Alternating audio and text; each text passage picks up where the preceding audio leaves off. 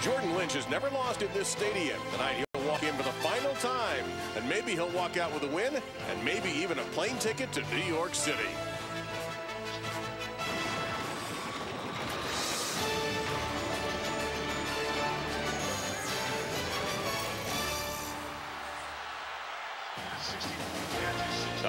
Snow on a Tuesday night never hurt anybody. Welcome to MACtion, ESPN. College football prime time from Huskie Stadium in the DeKalb. It's Western Michigan in from the zoo at 1 and 10, and Northern Illinois trying to complete an unbeaten regular season. They're already the MAC West champions. But there's a lot at stake every time the Huskies take the field now. They moved up in the BCS after their win last week over Toledo. They're now in a good spot in 14, two ahead of Fresno State, and UCF at number 19. They've got to go a long way if they're going to make it into the BCS, even if they win the American. Welcome inside a snowy booth, literally. Along with Ray Bentley, I'm Dave Lamont. Thank you very much for joining us. Quint Kessenich is out there in the elements. He'll join us very shortly. We talk about BCS busters. This is the last year of the BCS. Well, the real BCS buster Ray out there tonight is Western Michigan. And they could cause some real tumult in the BCS if they can pull off the upset. But Northern Illinois is a tough order to tackle. Yeah, and they are on unbelievable streaks right now, David. The winning streaks that, that they are on. You, you know, you see the numbers right there. 25 in a row here at home, 24 consecutive Mid-American Conference wins, and then they get it done on the road as well. It's a streaking football team. And there's one number behind all those numbers, six, Jordan Lynch. He's an outstanding football player, and I use the word football player with great respect because he is one of those guys, he's a quarterback that doesn't believe in sliding, he doesn't believe in running out of bounds, and not only that, he's got all the tools, throws the ball down the field extremely well, extremely accurate with his pass, he makes great decisions, and man, can he run with the football. You see the numbers there. Just dominates and takes over games late in games with those legs. He is a special player that is the leader and carries this football team to where they're at. Yeah, you stay out of the elements tonight. You deserve a free t-shirt or something for showing up. It is also senior night, an emotional evening for 17 Huskies seniors led by Jordan Lynch. A quick hug for mom, but it's game time now. ESPN College Football Prime Time. Brought to you by Kay Jewelers. Every kiss begins with K.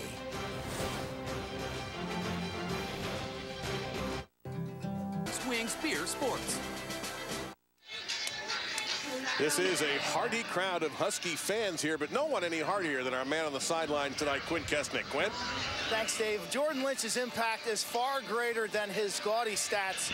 Three ways he sets the tone for this team. The first would be leadership. Whether you're dogging it in the weight room or dogging it in practice, he's going to get after you. He's going to challenge you, but he's also going to inspire you on game day. Second would be toughness. He's their most physical player. He loves contact. He doesn't shy and will never slide or step out of bounds. And the third would be clutch. You know, two weeks ago against Ball State, he delivered with the game on the line. He was They couldn't tackle him. Last week against Toledo, 99-yard drive when the game was in the balance. He has all the winning intangibles, Dave. Yeah, there's no question. I love watching him run because he is more than happy to offer up a piece of shoulder or something to a defensive back trying to get him down. They did not forecast snow this evening. It is not very much right now. We had a pretty good series of snow showers about an hour before kickoff, so you're going to see a light dusting on the field. And Ray will not have any kind of an effect on the players. It could make the ball a little slippery, but as far as warmth, they're going to be warm down there. And, and the footing, that you have to keep an eye on because there is a little bit on the surface. So I, I think that favors offense. They know where they're going. Defense is always reactive, and you have more, more of a tendency to slip when you're reacting to somebody. So kicking to Dareyon Chance and Donald Celiscar. And this is Celiscar. They win behind the kicker. No problem for that to be a touchback. You saw those 16 mile an hour winds, so that's certainly going to have an effect on the direction. Western Michigan ball first and 10 from their own 25. So Zach Terrell is the quarterback for this team as a redshirt freshman from Fort Wayne, Indiana. He quarterbacks the Broncos. Took over midway through the season due to an injury to Tyler Van Tubergen. And then when Van Tubergen began to get healthy and healthier and healthier, Terrell just flat won the job. Just getting better every game is what the coaching staff from Western Michigan told us. And so they said, you know what, we're going to keep riding him redshirt freshman. Let's let's get him ready for the future. The tailback is Dareyon Chance, 22, a senior from South Florida. And he gets the first opportunity. Yeah, a couple of yards there. Michael Santacaterina in there on the stop. Now for Northern Illinois tonight, they are missing one of their best players, defensive tackle Ken Bishop, who beat up in that Toledo game. And he is out for the night. And that's going to hurt him up in the middle of that defense. Pass out caught. And here's one of the top players in the MAC, Corey Davis, the remarkable freshman wide receiver from Wheaton, Illinois.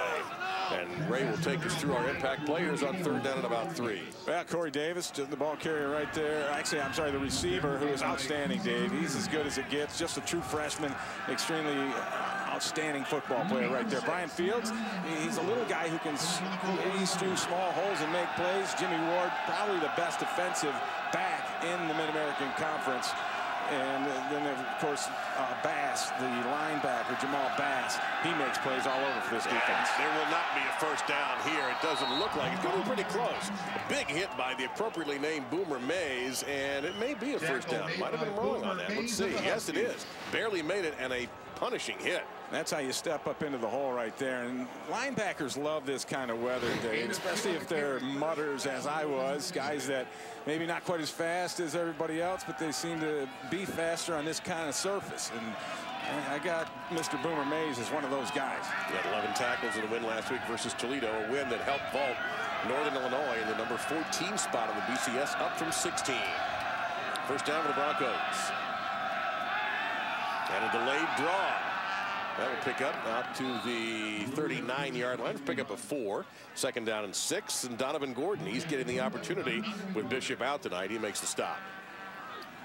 Western Michigan uh, does a nice job with their screen and draw game. And uh, that's one thing that'll keep a defense on its toes, kind of slow people down a little bit. And it also makes up for deficiencies you may have in your offensive line.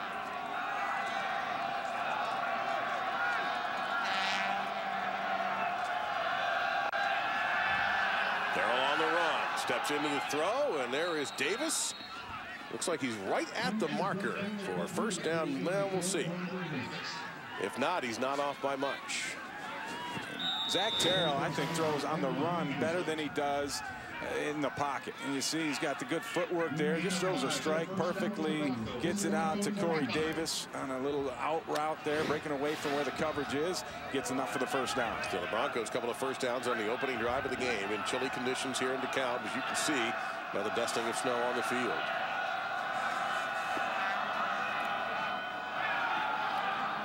Short gain that time, second down and eight. Again, that's Dareyon Chance, both of the backs for the Broncos. Small, 5'5", Chance, 161.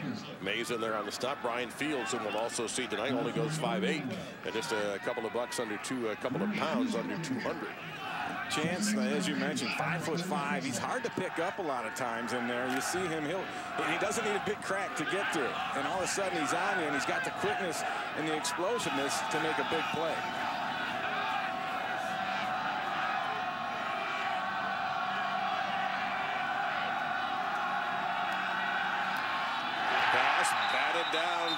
Scrimmage. It'll be third down and eight. Anthony Wells got up to send that back. And here's P.J. Fleck. He is an NIU alum, had a tremendous career here as a wide receiver in his first head coaching job, only 32 years old. He owns some records. He'll find his name in the record books here. Just, sorry, Dave. I was going to say, he is more enthusiastic and energetic than 10 men, according to Ed Pinkham, the defensive coordinator. And he is. If you get a chance to talk to him, you're going to come away uplifted and excited. It just rubs off on you.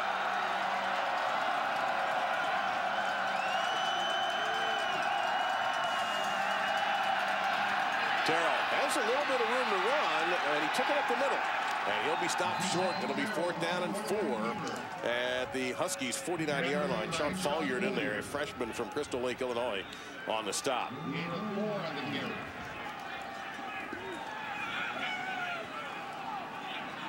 Western Michigan sends out the punt return team. That means Matt Williams will be handling punt returns. PJ Fleck told us they were going to be aggressive and creative. To me, this is a great spot, midfield, uh, early in the game. Try a fake punt here. We'll see if uh, he, how aggressive and creative he will be. Yeah, for the second straight game, Tommylee Lewis will not play. That's going to be a hole at wide receiver. Line drive kick. Williams has some room to his left, to the 30. And hit at the 32-yard line. So decent field position. And when we come back, you'll get your first look of the night following that 13-yard punt return. The guy who could be a Heisman Trophy candidate. It is Jordan Lynch. The light bulbs in the Watch ESPN app to watch ESPN live anytime, anywhere. Brought to you by Vizio. So Western Michigan got a couple of first downs, but the drive stalled at the 49-yard line of the Huskies. So it'll be Northern Illinois' ball for the first time tonight. And here is Jordan Lynch. The redshirt senior from the south side of Chicago. You see his numbers. Sixth in total yards in the FBS. 38 total touchdowns this year. That includes a pass receiving touchdown, by the way. And he loves to run the football, and here he goes. Lynch finding a hole, gets off to the left side. and gets about six to the 38-yard line before Trevante Bowles, a senior from Vero Beach, Florida, bringing him down. It'll be second and four. And I mentioned mutters earlier on, and I got a good sense that Jordan Lynch is one of those type of players where a little slippery out there. He, the way he uh, runs, I think it's going to benefit him. I can't wait to see him go tonight. We just saw a nice example of it there, picking up six on first down. Interesting formation. Now they send Cameron Stingley 42 out of there. Lynch rolls the other way. Fires on the run, knocked away in midfield. Good play defensively.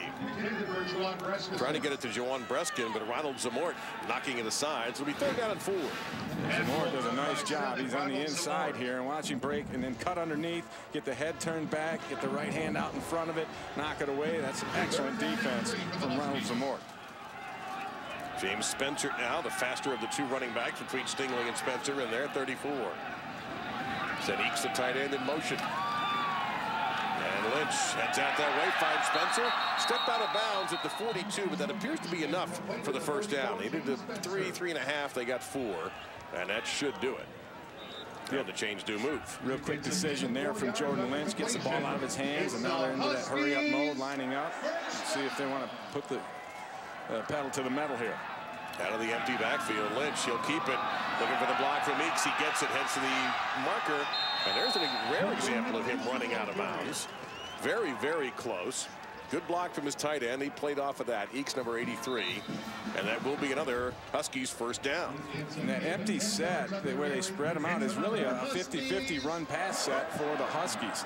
And they like the numbers they have because most defenses will just have five in the box against that. And then you got five hats for the five hats and a heck of a runner in Jordan Lynch.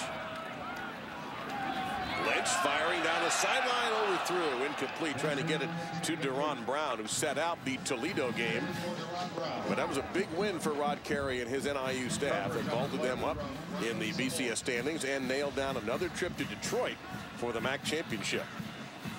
We had a nice time the other day, actually yesterday, sitting down in the offices with Coach Carey, and boy, everybody's happy uh, around here. Imagine that, you know. It was an unbelievably happy group of people in those offices, no question. Lynch, look at the nice footwork by Lynch, and he again heads OB. That was the right decision to make, being chased by Demetrius Petway. Gain of seven for Jordan Lynch. It'll be third down and three. And Jordan Lynch will, he's such a deft ball handler. He, the way he fakes, it looks the same every time, and he does such a great job of carrying out the fakes. It's tough. I've seen guys, when he has the ball, just run by him, chasing after the guy he, they thought he had handed it to. Three carries already for 24 yards. Now you're on the opening drive for Jordan Lynch. Fourth carry. And he is hit right at the first down marker. Good tackle that time by Kyle Lark, getting an opportunity with Austin Lewis out for the Broncos. Lark, a redshirt senior from Allman, Michigan, met him right at the mark, but it's still going to be a first down. And Lark started the first seven games for the Broncos, and then was knocked out of the lineup, and now with the injuries, gets an opportunity to get back in there today. Western Michigan a bit thin defensively. And it's a defense that has been gashed a lot during the season. 105th in points allowed, 113th in rushing yards allowed, 234 on the year per game. Little jet sweep motion this time. That's Spencer, and he'll get inside the 15 for. He's finally brought down by Mike Jones. That's going to be 26 yards in the first down in the red zone for the Huskies. And we spoke with Ed Pinkham, the defensive coordinator for Western Michigan. He said, we got to set the edge, and what that means is you got to turn this guy inside. No edge was set there at all by the Bronco defense, and the speed beats him to the edge. Interesting formation here from the right hash. They go trips to the top of your screen.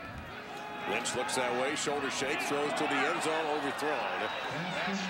The receiver looking for interference, but that was a Brown, and that pass was out of bounds, so it'll be second down. pet play on coverage. Northern Illinois has a tendency to show that bubble screen to the outside, and they tried to get Western Michigan to bite on it. You see Jordan Lynch, he faked that thing and then thought maybe he could sneak one past him over the top. It wasn't there. He threw it away. 10th play of the drive coming up. Spencer, 34, back into the game at the tailback spot. Unbalanced line right now. That's Brown in motion, and Lynch will fake it to him and go toward the end zone and score another rushing touchdown. Flag is down. Back at the nine-yard line. There's a flag on the play. Well, that one looked just too easy.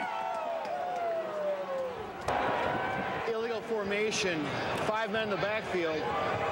Five-yard penalty, second down. That's unusual for Northern Illinois. Only three penalties in their last three games. You talk about a formula for winning football. That's it. Well, here you are. You got one, two, three, four, five, six, seven on the line, but there's too many in the backfield, and it's unbalanced, but you got to line up right. Well, wait, did Quite he frankly, say five in the backfield? Yeah, I didn't see it actually, Dave. The way I counted it, I counted four. I did too. So I don't know about that one. Well, second down at 15, erase the touchdown.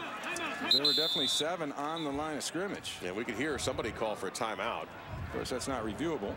No. First time out. Western Michigan. So Western Michigan, and there's PJ Fleck right there, and he's not at all concerned about the temperatures and the wind chills and the teens right here. Energetic, as he talked about, just 32 years old, the youngest head coach by a year. Matt Campbell up at Toledo is the second youngest at 33. They share the same birth date, and that'll be coming up over this weekend, as a matter of fact. And interesting, there's been a lot of talk about uh, in the Kalamazoo papers and the people around the program saying that even with the 1 and 10, they've had some tough losses. They lost to an FCS school earlier this year. That the attitude around there has been upbeat. And that's, I put that all on PJ Fleck because he is enthusiastic, if nothing else. I mean, he, he, you know, just talking with him, everything is. He actually told us that he is, feels like he is blessed with all the adversity that he's faced this year because when he does turn it around, it's going to be that much sweeter. I love that kind of attitude. You're going to see number 36, Draco Smith. Draco Smith, the freshman from Hammond, Indiana now in the tailback position. He checks out of the backfield. Second and 15, Lynch, bubble screen. Brown catches it. And his own man kind of got in the way. And when that happened, that ends up being a gain of nothing. It'll be third down and 15. Good play by the middle of the Broncos defense. Smith and Bowles in there. Well, Fleck has also tried to, and he's very famous for the row the boat, which he got a lot of attention for over the summer. And he talked about that philosophy, but I'm sure over time he's going to want to be known for more than just that. But for the moment, if that's the impression people get of the program, they'll take it. Means a lot to him personally. Lynch, middle of the field, open, incomplete, fourth and 15. Brown, diving catch, just missed it. It looked like Brown should have got that one. Here's Jordan Lynch throwing it right there into that hole. And just a little bit outside. And actually, I think Brown should have brought that route inside a little bit more. There was room inside there. The safety had stuck to the middle of the field. He could have flattened that out and, and gotten to the football had, had he run that route a little bit more meticulously. If you were with us last week in Toledo, the trials and tribulations of Matthew Smith. He missed three field goals, and it didn't please Rod Carey as head coach. This one's from 34. Well, he's uh, missed his last five. And six out of his last eight. So Northern Illinois had the ball for a while, just about a dozen plays. They were really badly hurt by a penalty and now a missed field goal. We're 0-0 between the Broncos and the Huskies. Tuesday night in snowy DeKalb.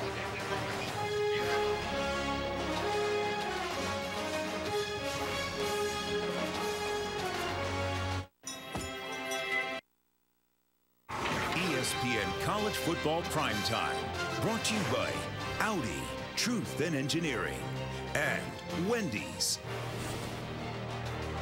And I remember last year, or actually this year, the Discover Orange Bowl was a BCS stop for Northern Illinois. And at the moment, they're number 14 in the BCS. But you have to wonder about their kicking game. And we don't want to look like we're picking on Matthew Sims, but last week, and the game was in doubt in the first half against Toledo. In fact, Toledo had the lead at halftime. Sims missed three field goals, one from 23 out. Chip And, shots. Yeah, the, the others, that's close, but, you know, that doesn't matter. Yes, it was a cold night, but I'm sure it's difficult. He's not a problem with distance. And he got that reaction following the third one from his head coach, Rod Carey, who was none too pleased. Now, there's Matthew at the moment. When we asked Rod Carey specifically about him, he said, he's fine. He's a kicker. He's fine. Mm-hmm. And Terrell, you might have been able to see the effect of the wind on that pass. That was a long throw to Timmy Keith, who made the diving catch for a gain of about eight. eight, second and two coming up. But at this point, if I'm Matthew Sims or one of Matthew's teammates, uh, I'd, I'd be sitting with the guy to talk to him a little bit. That's that makes me feel a little sad. It's tough to do. Uh, what are you going to do? I'm sure, you know, they, they want him to perform. You know, and I mentioned it off air, Dave. They might retire him alongside Diesel because he's in the doghouse right now. Now, Quint has more on that. We'll get to that after this play. And they are retiring their legendary mascot Diesel tonight. Opportunity here for a first down with the Broncos, and squirting through is Dareyon Chance for the first down. Quint? Yeah, Sims has missed uh, six of eight now, and you got to think that poor technique is now impacting his confidence. Finally, a teammate comes over and sits next to the kicker. You know, kickers are kickers, and they're generally left on their own. Uh, no, no coach or, or, player had come over to Sims until just now, and, and they're cozying up and trying to stay warm uh, under the dugout. That's Tyler Wedel, uh, number 26, the punter, who is over there with Sims. Well, they speak kicker. They speak the same language. Pekingese. Yes, first and 10. They're in big trouble here. When he get outside of the pocket to throw it away, he did. Plus, he had some help there, too. So it'll be second down and 10 coming up. Those, four of those last misses, Dave, have been wide right. So I, I, think it's just the way he's lining up and the way he's approaching the football. He's, he's not getting through it all the way. And it's a simple adjustment because he's hitting it pretty good. This is what we were referring to last week. Yeah, sometimes coaches just sort of ignore the kickers. But Rod Carey is active in special teams. And that's his baby, special teams. He's in on every special teams meeting. as a lot of head coaches do that. Well, everybody has their, their boiling point. There's that delayed draw again and again. Just squirting through. That is Brian Fields, redshirt senior from Newcastle, Delaware. With these small backs the Broncos have, it is sometimes tough to find them. Yeah, we were talking to Kirk Ciarrocca, the offensive coordinator. He said they, they often joke when they do get a big play from him, wow, they just didn't see him. and sometimes that's true. It's difficult to find a little guy when he's running amongst the tall trees in that offensive line. And then he's on you, and these guys have great quickness and explosiveness through Fields and Chance.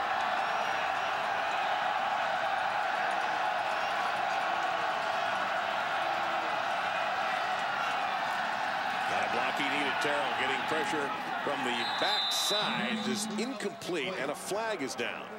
Often this is a neutral zone infraction on the defense from where that thing came. Try to get the ball into his tight end or his H-back, Mario Rodriguez. Offside. Defense number 29. Five-yard penalty, third down. That's the cornerback, Paris Logan. It remains third down, but now instead of third and six, it should be third and about a yard.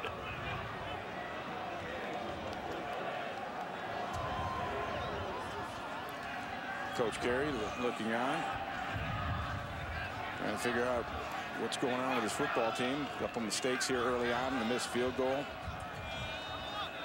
Lost some points. They also had a penalty that we couldn't quite discover what it was. With they said there wasn't enough men on the line of scrimmage. Five in the backfield. We counted it up. Looked like four to us.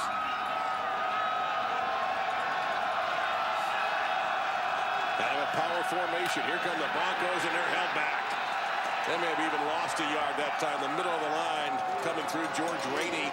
46 Boomer Mays, the linebacker right there, 45 in there on the stop. It's fourth and even a two-year to go now. And Western Michigan will punt for the second time tonight into the wind. And Western Michigan brings in Trevante Bowles, number 55, defensive tackle, to play that fullback spot. But I've watched a lot of film on these guys, and I've seen them run that same play pretty much every time on a short yardage. Uh, Northern Illinois was dialed into that one.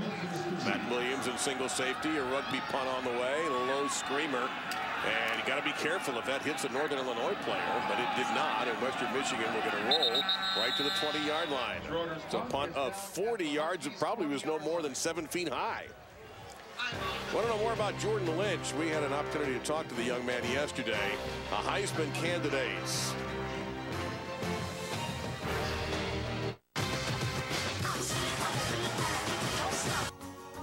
Act. Smile strong.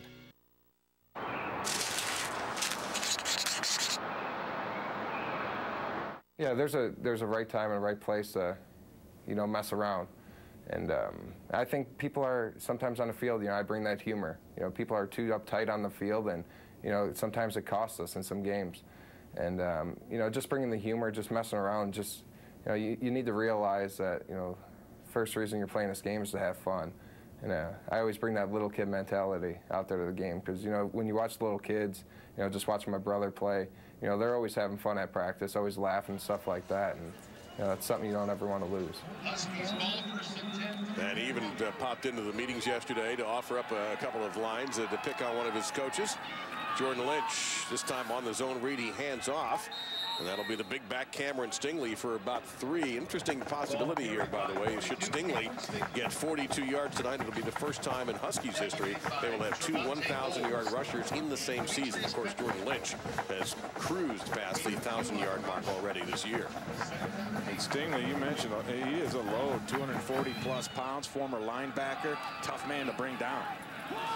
And Lynch with that excellent ball fake that Ray talked about. Keeps it for the first down to the 32-yard line, a gain of 10. by Justin Curry. And a good example of how you run a zone read play. Well, here it is. He had to go down low to get the snap, but he always has his knees bent anyway, and then he finishes the run by lowering a shoulder into the defender. And this is Stingley running wide. Good job there by the Broncos defense to keep that to no gain. And that was Kyle Lark, the second leading tackler for the Broncos defense. You know, I, I want to take a look at, at uh, Jordan Lynch here. He takes the shotgun snap lower than any quarterback I think I've ever seen. We asked him about it. He said he's a shortstop back in his baseball days, and, and that's the body position that, you know, you get ready at. That's how you play football. And and that's how you, you, compete in athletics. Watch the knee bend that he'll get when this snap gets ready to come. Look how down low he gets. And he'll hang it about do it again, running through a few tackles as he always does. Petway number two came in and hit him right around the neck. And it's going to be a gain of six for Lynch. So third down and five coming up. So Lynch unofficially now over 40 yards rushing. And I complimented Coach Terry on, on his team. Watch, watch the knee bend there. Now the snap is low. He had to go down a little bit to get it, but he does that before every snap. And I told Coach, you got a bunch of really good knee benders here, Coach. And and he, he, he, knew what I was talking about. This, this football team plays low, and they bend the knees, and they get leverage. Lynch hit right after he throws, but hits his man, and a first down. This is Turner. Aregeros Turner into Broncos territory, gain of 23, and Lynch hung in there to the last second.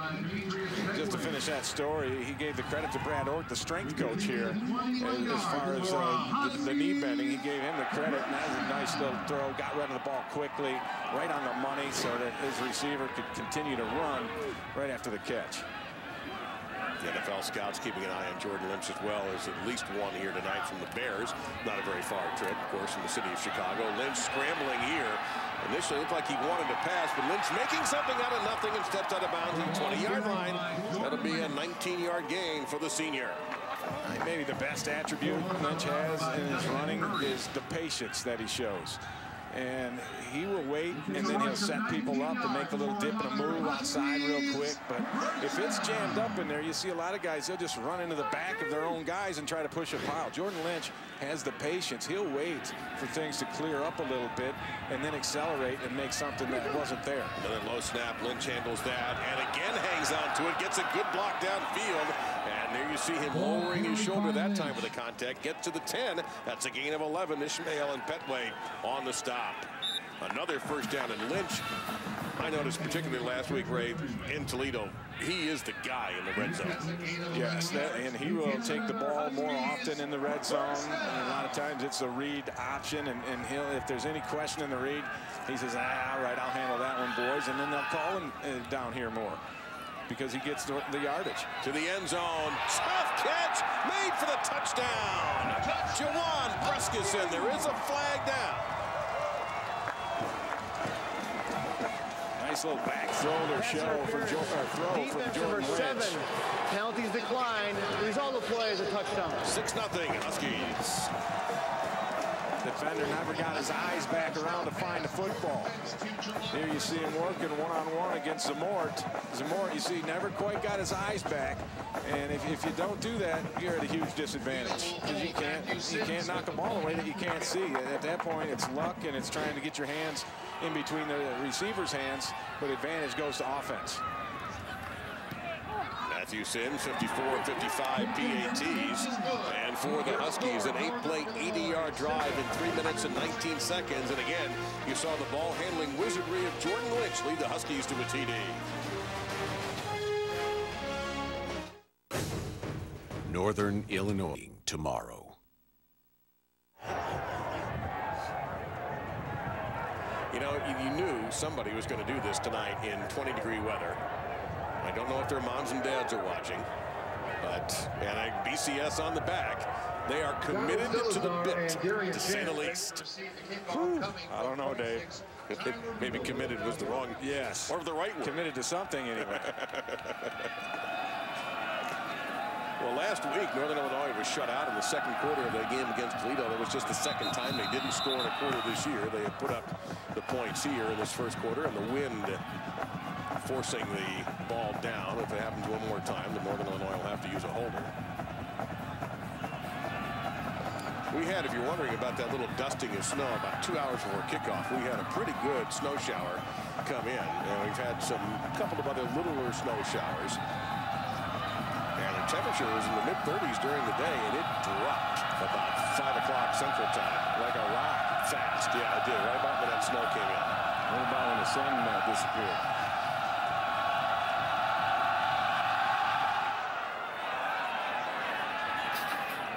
And that's going to force good hands there by Sutterskar. He finds a gap. Sutterskar to the 30. Good return here for the Broncos. Sutterskar knocked out of bounds outside the 35-yard line as we throw it to the studio. And Chris Cotter with Trevor Matich. Dave, not such a great year for Cal football, but the basketball team's off to a great start, 5-0 on the year, and leading Syracuse right now at the Maui Invitational semifinals. That game is over on ESPN, so check that out. About four and a half minutes left to go in the first half. Night game, Baylor and Dayton, another good one coming up on ESPN. Dave? All right, thank you, Chris. Appreciate that. You get a good look at Zach Terrell, the redshirt freshman quarterback from Fort Wayne. Eight touchdowns, eight interceptions on the year. He was not the starter at the beginning of the year, but took over due to injury and has hung on to the job. And he's gotten better each week, and he's done a nice job of running the offense, starting to understand the things that he has to do with protection, and then he takes care of the football. And Western with a couple of very good running backs out to the 43-yard line. Tackle made by Jimmy Ward. First time we've called his name tonight. Dareyon Chance with the carry there. Jimmy Ward, 15 right there. As good a player, other than maybe Khalil Mack, in the MAC in defense. Down to the 45, the 46, and look at the big man rumble. That is Mario Rodriguez making people miss. There is a flag down at the 49-yard line of the Huskies. A hurry up action from the Bronco offense and then ran a bootleg out of it. There you go. There you go. Holding offense number 46, 10-yard penalty, first down. That's Clark Mussman. Now the first down uh, still for Western Michigan, but that was a big gain that was wiped out by the hold.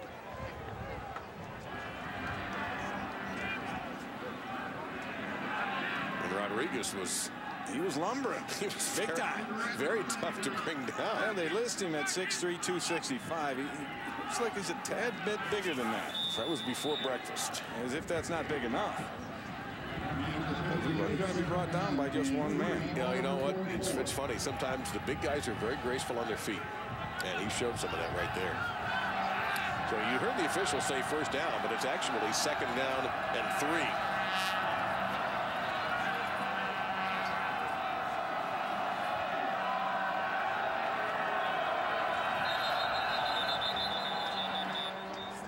And whistles from the other side of the field, the far side of the field.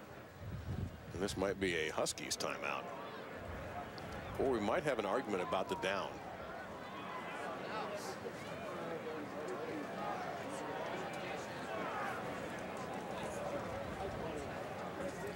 Well, we got rivalries coming up all the time in college football this weekend. We're going to see some great ones, including the Egg Bowl. And that's Thanksgiving night on ESPN. Bo Wallace and the Rebels rolling to Starkville, looking to take the golden egg. Dan Mullen's upset-minded Bulldogs need to win the game bowl eligibility. ESPN College Football. Prime time, served by Applebee's, part of the rivalry series, presented by GoPro. Ole Miss, Mississippi State, Thursday at 7.30 on ESPN and live on the Watch ESPN app. Second down and three. Straighten out whatever it was. No timeout called by Northern Illinois, so it's still second and three.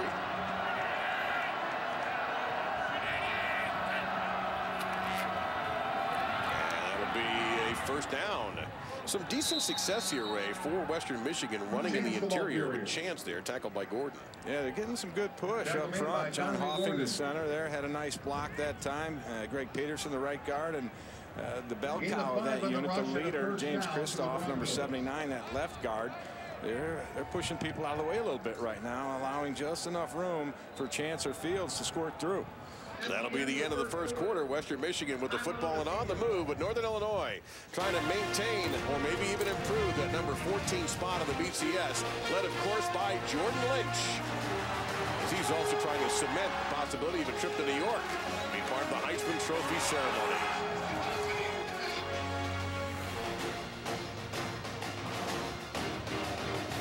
The Big Ten begins tomorrow at 7 Eastern on ESPN, presented by State Farm. Much applause to that marching band right there because they were performing in a snow shower before kickoff.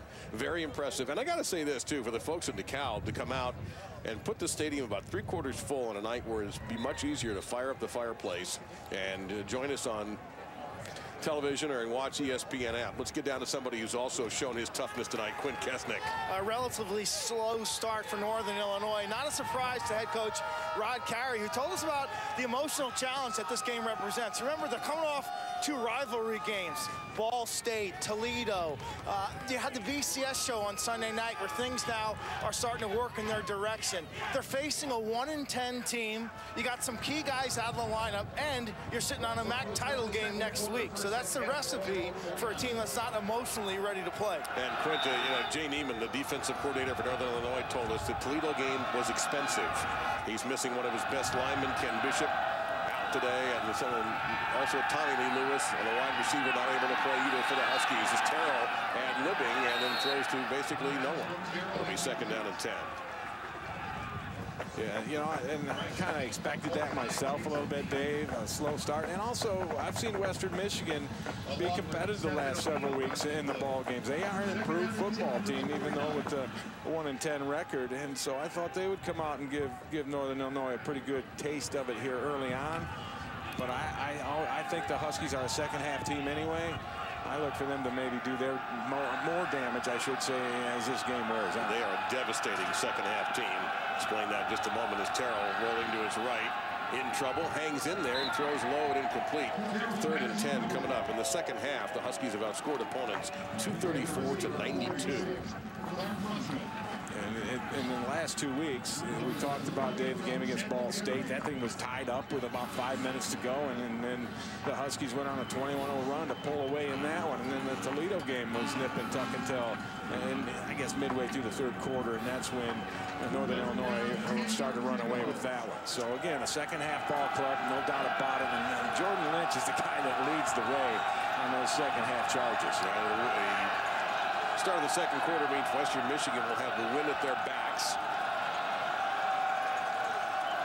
Pressure here, all-out blitz by the Huskies. Off the back foot, the catch is made. Is it in bounds? Yes. Wow, Timmy Keith with a fantastic catch. Credit the redshirt freshman Terrell for hanging in there, and it's a first down for WMU. This is a really nice throw by Terrell. The, the wind down there is tough to deal with, and it got under that one a little bit because it's at his back. And then Keith, yeah, that's what you call knowing where you're at and just getting your foot right inside that line. Watch that come down there, and he stays up on the tiptoe and got them both in, actually. Well, the officials staring that down all the way, so we may not even hear from our replay booth. And we don't. This is Fields on the handoff, bounces off one, and is brought down just shy of the 30-yard line by Jimmy Ward. That's a gain of nine, so second and a yard coming up. In Western Michigan, uh, one of their problems is a lack of explosive plays. And uh, I, I, have to call that last play pretty explosive, the pass on a third and 10 outside to get the sticks from uh, Terrell to Tim McKee. And that's the kind of play they haven't been producing on offense. They've been able to move the ball incrementally, but nothing big, nothing that, that you know, will keep a drive alive or, or you know, zing it down the field for a big play. Not much of that out of this offense. Well, they only averaged 17 and a half points. And we'll have a timeout taken here. Apparently going to be charged to the Broncos. We'll find out. Yep, Western that is their Michigan. second. One left. So we'll step aside along with P.J. Fleck and the Broncos who are hanging tough on a chilly night in DeKalb. Use Chase Freedom at Amazon.com and get five. That's what makes the Cuisinart Griddler so deluxe. Now the Buckeyes national title hunt continues. Saturday as ABC and Braxton Miller leads number three Ohio State into the big house with the nation's best win streak and the Big Ten title game looming while Devin Gardner and the Wolverines look to make a statement with a win versus their arch rivals. College football presented by Kay Jewelers, part of the rivalry series presented by GoPro. Ohio State, Michigan, Saturday at noon Eastern, 9 a.m. Pacific on ABC. There are some of the numbers behind there. The Wolverines have the edge, but not lately. Probably not this year, quite frankly. The Wolverine offense is they're searching for answers right now. The handoff to Chance. And here's an example of how the small backs can have an advantage by taking just the smallest of gaps in the defense to make the move and get the first down. Mays on the stop. Chance can dance. I mean, he had the, the little side hop there and Watch the move. Watch his feet right here. When he gets both feet on the ground, bam, pops back into that little area and then finds the seam. He can, he's got a knack for those little cracks that he can get through and get some yardage. Out of a solid uh, high school program in the Fort Lauderdale area, Cardinal Gibbons will be first down and 10. Terrell goes back the other way, has a man open. That looks like Mussman. And Mussman, big collision at the two. That's Paris Logan, the cornerback, who hit him. One of those chest bumps right there. As Mussman, he launched himself up into the air. And that kept Mussman out of the end zone, but they're almost there now. massive substitutions going on. And this is a nice play call right here as Kurt Ciarrocca saw that the uh, Northern Illinois defense was overreacting on that rollout scheme that Westerns brought out a couple of times. And he got his foot inside the, the pylon there, Dave, but not the ball. So I think they marked the ball properly. Just 14 touchdowns and 33 visits to the red zone, and the replay booth would like another look at this. Or is that a flag? No, it's a penalty marker down. False start. Offense number 72. Five-yard penalty. First down. So they're going to hit the right tackle with that. Taylor Moton. And there's an example of what happens when you're having a 1 in 10 season. You right. Know, you got a little mo, you got it, you're going, and you get down to the two, and then you're back five, or down to the one, back to the six yard line now. Yeah, and, and you're right, Dave. That, those are the kind of things that, that you do when you're not being successful. Those are the things that are yeah, I guess they're not easy to clean up, but they're simple. They're simple little things that you can clean up, and that's what the challenge is for P.J. Fleck and his coaching staff. So first and goal back from the six. Play action fake. Going to go toward the end zone, try to get the big fella in. Did he make it? No. That was Mussman again. He got him down to the two, originally the one originally. Now he got him back to the one, second and goal. Durant with the man-to-man -man coverage here. and He shows up a little bit late, but he does get the big fella down before he can get it over the end line, or the goal line. But Terrell fumbled the snap. Did he get it back? Yes, he did. Well, again, that's only two touchdowns in the last 11 red zone trips. Third down and yard, yard and a half. Boy, that, that's just one of those things that we, you know, we just made an example of it with the penalty prior to that. And, you know, the, the snap malfunction there. defense, you know, and they haven't been putting the ball on the ground. You know, only two fumbles in the previous three, and they haven't lost any. So they are taking care of the football. But a play like that, I mean, that, that easily could have been a touchdown if you can just execute the most basic play in football a thing in football, and that's getting a snap. And with 11 minutes and 12 seconds left in the first half, Western Michigan is out of timeouts. And they're the, letting their play clock run down. Yeah, that's what I was going to say. They were down to inside five seconds. So for PJ Fleck, this is a homecoming, and I don't think he's had a whole lot of time to sit around his hotel and think about the good old days at NIU, but they were good old days when PJ Fleck played for Northern Illinois from between 1999 and 2003. You see where he is, number three all time. And the 2003 team, highly regarded around these parts for what they were able to do in defeating some of the best programs in the country en route to a 10-win season. And then he came back. Yeah, actually, here's, here's the team photo that you just mentioned about that 2003 football team. And there's P.J. Fleck. And then also on his staff, a teammate, Vincent Reynolds, defensive line coach. So those guys were together back in the day under Joe Novak.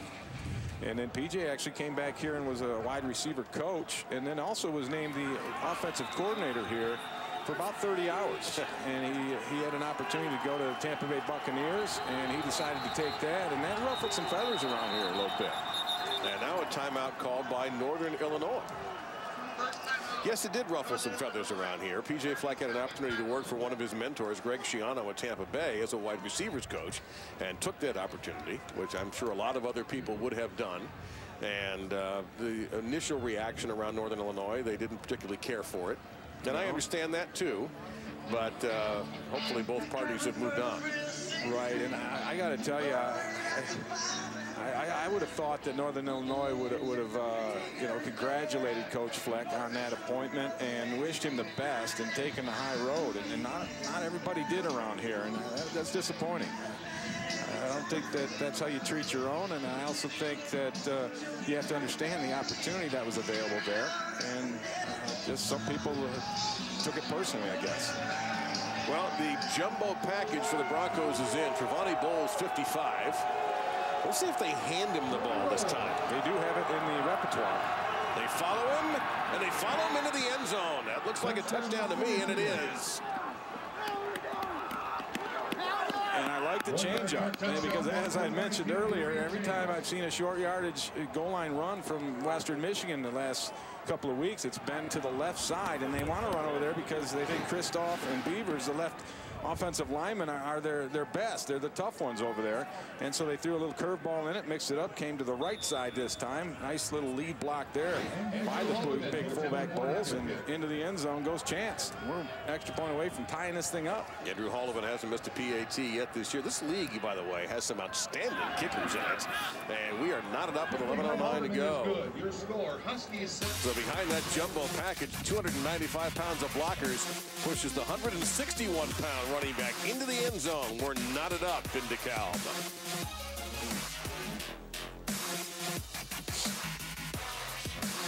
Meet the lumberjack whose flannel was out of whack.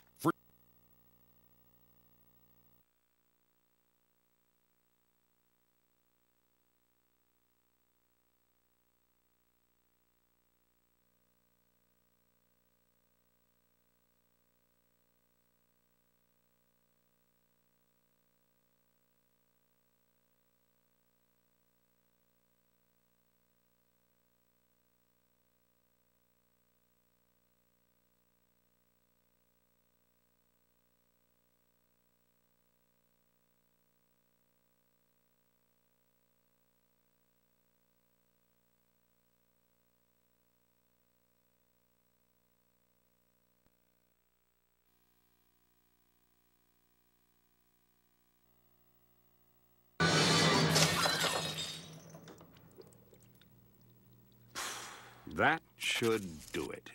A laptop when you need it, a tablet when you want it. ESPN College Football Primetime. Brought to you by the Volkswagen Sign Then Drive event. Visit VWDealer.com. And the new Intel powered 2 in 1s. Intel, look inside. Seven all here with 11.09 to go in the first half. And Western Michigan got a little creative on that touchdown play as uh, they unbalanced. I mean, they tilted the field big time. Here's the ball. You got one, two, three, four, five, and then six, seven, all on that side. And I think that's where they're going to run the ball. Sure enough, they're able to push people out of the way. Nice little block there by the offensive line, getting that push, and then the big fullback, the defensive tackle, brought over from the other side of the ball. Mr. Bowles, he kind of gets a little piece of somebody, a linebacker coming through, and there you go. There's a little creativity and aggression that P.J. Fleck had talked about. He's Ray Bentley. I'm Dave Lamont. Quint Kessenich is on the field, and uh, our ESPN crew. We want to particularly thank the, the, folks who had to work in the snow yesterday to help set things up. Uh, it can be difficult. we were watching folks laying cables out there in the middle of a snowstorm, and we certainly appreciate uh, the effort and the time that goes into getting us all ready to do these shows. And again, the wind affecting, in fact, the last kickoff by Northern Illinois, it appeared that uh, Matthew Sims kicked the ball as it was going off the tee, which is one of the reasons that it ended up being a rather short kick. Right, because the wind is at the back of the kicker here in this situation. There should be no problem bombing this one uh, into the end zone. Although I imagine if that ball's a little cold, your foot might be cold. It could be a factor. Aregeros Turner and Paris Logan back deep again, and now we're going to have to get somebody to hold the ball. Tommylee Lewis not playing tonight for Northern Illinois, second game in a row. They are pretty confident he'll be back for the MAC championship game at Ford Field against either Buffalo or Bowling Green out of the East. And they'll be playing, how perfect is this, this weekend, Saturday, at Ralph Wilson Stadium. Friday. Friday, excuse me, you're on 5, uh, 1.30. That game, game will be on ESPNU.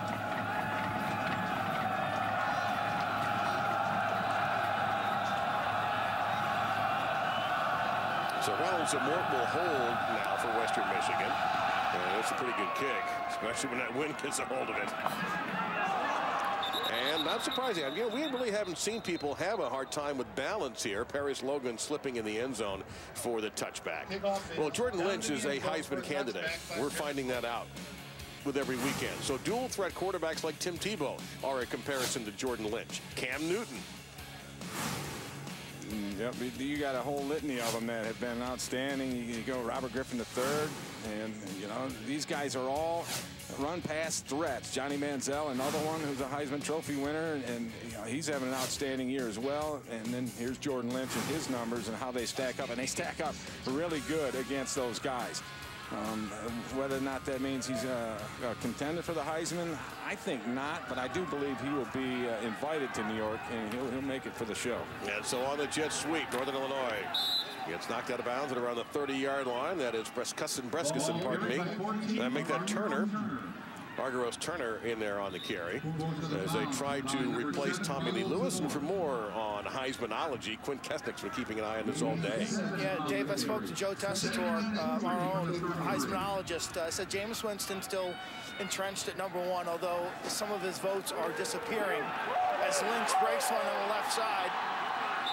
And a first down for Northern Illinois. Andre Williams of Boston College, a huge move last week into the number two spot. A.J. McCarron, Alabama at number three. and He's got some big games coming up. And then Jordan Lynch at number four. But Joe said the way the votes have, are laid out right now, that it's likely that four guys would get invited to New York. Well, Lynch called it yesterday when we talked to him. A dream come true. Here he goes. And this is classic Jordan Lynch. It's just a little bit of a crisis here in this game, and he's taken over. Justin Curry on the stop, a gain of 17 for Lynch. And he does it every time. Every time it's a critical situation for this Husky football team. Jordan Lynch says, stand back, I'm going to take care of business, and away he goes. 110 yards and 10 carries for Lynch. So he's over 1,500 rushing yards on the year. And he takes a little bit of a break and gives it to the big guy, Cameron Stingley. And Stingley rumbles for about five. It'll be second and five coming up. Ishmael on the stop for the Broncos.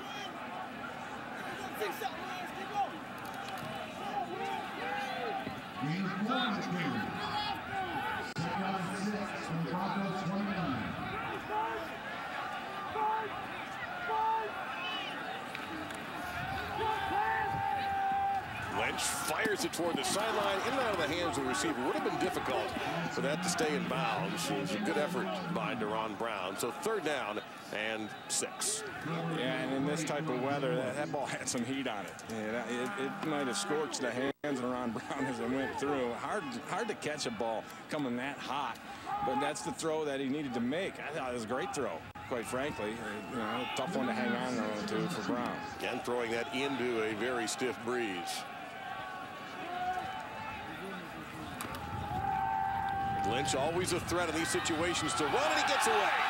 Lynch in the clear to the 15, down to the 10, carrying the defender into the end zone. Touchdown, Huskies and Jordan Lynch.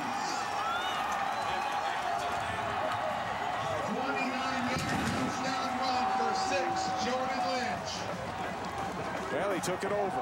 And we talked about it. And there he goes. You know, this one's a great scramble here. He wants to throw it down to his left. He's got a post route. It's not there. So right away he says, okay, let, us see if I can make something happen. And then there, there's no reason why Zamar, excuse me, uh, Zamor doesn't make this tackle. He had the angle on Jordan Lynch. But Jordan Lynch willed himself into the end zone. And he was he saw it and he was going to get it. And there wasn't nobody going to stop him. You know, for some reason you haven't had a chance to see Jordan Lynch play, and that was your first exposure. You got a good idea of what he has done for this Huskies program in his career. He replaced a very good quarterback in Chandler Harnish. Let's not forget about that. 63 of those yards on that drive were responsible for one person. Jordan Lynch, 11 carries, 137 yards, and the go-ahead touchdown for the Huskies. College football on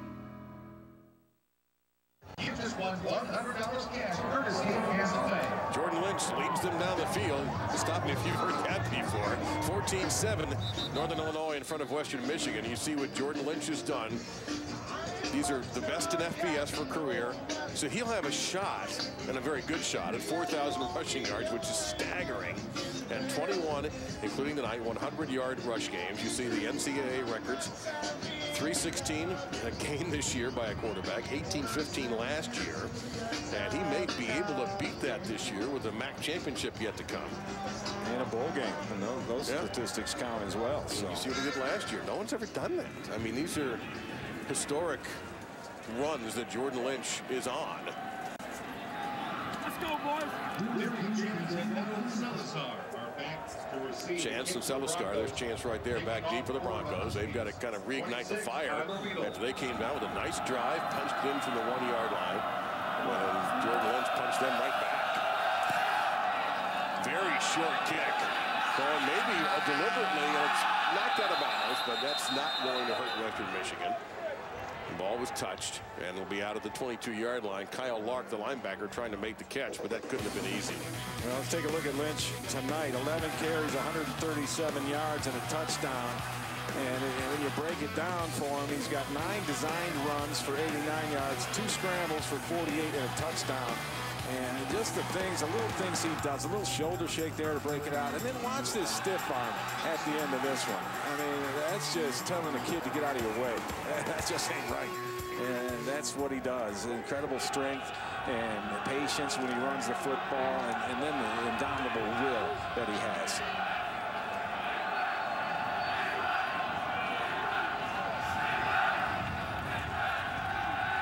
Terrell, plenty of time. Receiver open. And we haven't called Corey Davis's name that much tonight, except early on. That's incomplete, second down and 10. You may have been able to hear the wind through our uh, on-field microphones. It has been very breezy all night here in DeKalb. I'm a little surprised they haven't tried to get the ball to Corey Davis a little bit more because he's their big guy, they're their big playmaker. He's the one who makes the plays down the field. Coming into the game with 64 catches, and that's uh, substantially more than anyone else on this team. And I think second behind him is 20 coming into the game. There's Timmy Keith has made a couple of nice catches for the Broncos. Little play action. Terrell just facing the pressure and threw it over the head of the official. It'll be third down. Mario Jones broke loose and was right in Terrell's face. I think Jordan Lynch lit the fuse for this Husky football team because all of a sudden this defense has a little jump in their step now too. Well, this is a tough spot for the Broncos. Third down and 10. They're not a particularly explosive team, as Ray has mentioned. And they've got to manufacture something. You've got to think that 84, Corey Davis, is the target here. Terrell 7 of 13, 74 yards for the redshirt freshman. There's Davis. And he's at the near side of the field. Will be at the bottom of your screen. There he is. Down here, and he's that first option usually in situations like this. Looking that way. Goes to a different receiver and it's knocked away. Would have been short of the first down. It was at 30-yard line. There's Jimmy Ward, who was a Sports Center top 10 play last week, and the interception he pulled off over Toledo. It'll be fourth down and 10. Tried to fit it into Timmy Keith. Yeah, and it's hard to compare Jordan Lynch to anyone else, but if you're going to say that the Jordan Lynch of the defense here for the Huskies is anyone, it's Jimmy Ward. He's the inspirational guy, the leader on that side, and also the performer. He's outstanding. Jay Schroeder, the sophomore from Columbus, Ohio, into punt again. Bit of a floater of a snap. He better get rid of it.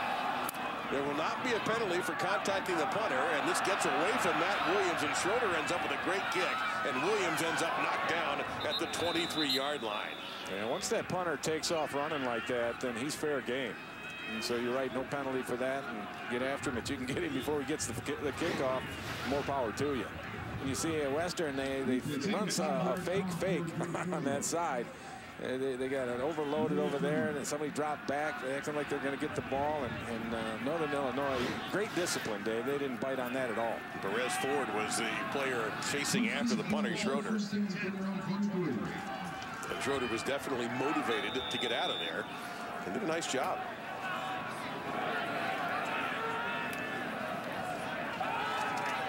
Good pocket for Lynch. He'll dump it off. This is Stingley. And a good tackle. Stingley gets two. Second down and eight. And that was Trevor Ishmael, the junior from Miami, North Miami Beach High. And they're on the stop.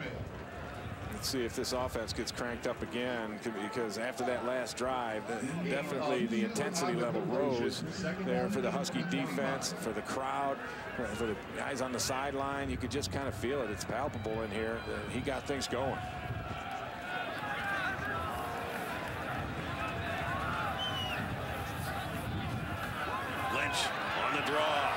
Gets out to the right side, gets the first down, cuts back at the 40, and Lynch carrying the defender into Broncos territory. First down, a 27-yard run.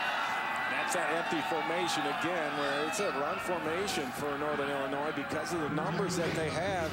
And you're going to see the blocking that gets done. Nice pull there by Jared Volk, the big tackle. You get a lead block coming up inside, and then another block down the field by Da'Ron Brown. And everyone's playing at a higher level now. And Lynch is over 4,000 yards for his career, and Stingley spinning off one hit gets seven. Second down and three. Well, this is a small room that Jordan Lynch has just entered, and we'll show you in a moment what we mean. Back to Stingley. He'll break through one tackle and then drag down by two. Trevante Bowles helped bring him down. Well, this is a small room of people that have gone 5,000 pass, 4,000 rush. Colin Kaepernick, Brad Smith, Denard Robinson, and Pat White. And now Jordan Lynch. And all those guys uh, to the left of Lynch have played in the NFL. Uh, are currently playing in the NFL. And I believe Lynch has a chance. Now, Kaepernick is the only one who really has a lot of experience playing quarterback in the NFL. And I, I think Lynch will get an opportunity to do so, and I think he deserves it. Lynch, he's going to add lib here, and he's got a lot of room. He gets a good block, heading for that same end zone, gets a great block downfield, and Lynch does it again. Oh, Magoo. He's done it again.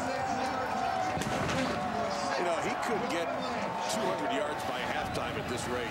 And again, here's just a scramble. There's nothing, nowhere to go with it, so he tucks it down. Now he's just got unbelievable feel for where he needs to go and get to. And then the guys pick up the blocks down the field, as you called, Dave. And he had the determination. I think he knew touchdown when he hit about 25, 20-yard line there. He saw it happening, and he knew he could get to that edge and get around there and get himself another quick six. He has 200 yards. 13 carries for two Bills for Jordan Lynch. Well, you brought up a good point. This is the second week in a row I've watched Northern Illinois that kick sails wide right. Little trouble with the snap that time with the punter, Tyler Wedel. But the blocking downfield is something to watch because once it's obvious that he's on his way, Jordan Lynch gets some help from his receivers. They know what to do when number six takes off. Well, they do know, Dave, that they got a chance to score anytime he does take off. And here you go. They just did.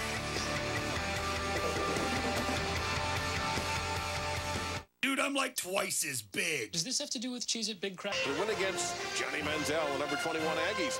And at 8 o'clock at ABC, crosstown rivals battle for the victory bell as Brett Hundley, the number 22 Bruins battle Marquise Lee and the 23rd ranked Trojans, part of the rivalry series presented by GoPro. The fun Saturday night begins with A&M and Missouri at 7:45 on ESPN, then UCLA USC at 8 on ABC.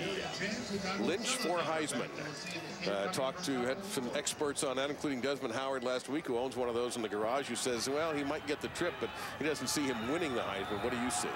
I don't see him winning the Heisman uh, myself. I would love to see him go to New York. And I think he has uh, earned that right.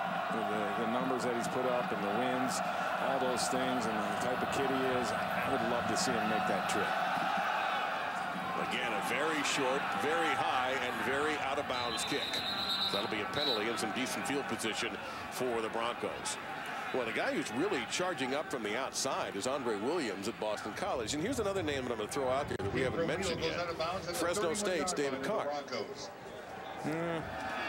I, I, my personal opinion, I, I, think Johnny Manziel is the best football player in the Kicking country. team, five-yard penalty from the when the ball out of bounds. First down, Western Michigan.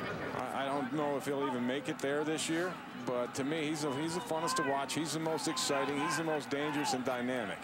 Uh, other guys are having better seasons. You know, A&M with three losses now. It kind of puts the damper on that. But uh, I don't have a vote. I do not either. By the way, it's Derek Carr, not David. That's my bad. But uh, Derek Carr's done magnificent things for Fresno State. And by the way, they're rooting hard for Western Michigan tonight to come from behind. Terrell in some trouble. He's got some room, and Terrell makes a nice move, and then he is hauled down by Cody Hazlett. But that should be a first down for the Broncos.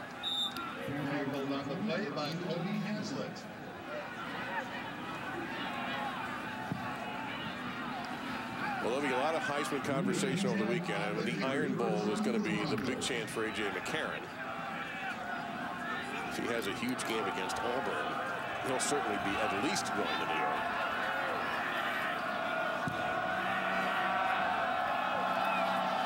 Back to the ground, back to Chance, bouncing off his own man. Short gain there.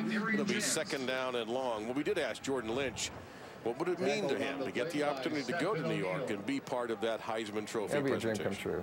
Um, you know, growing up, watching college football, it's a you know that's the biggest award you always think of. You know, winning the Heisman, and you know just to get an invite would be a dream come true. Um, you know, I know that's not never going to happen if I don't, you know, keep my you know level-headed and just keep winning games. So far, he's done that. Yeah, won quite a few, as a matter of fact. 11 straight this year. He has a touchdown pass, two touchdown runs tonight. Back to the ground, another short gain that time for Chance. It'll be third down and seven for the Broncos, just shy of midfield. Mario Jones in there on the stop.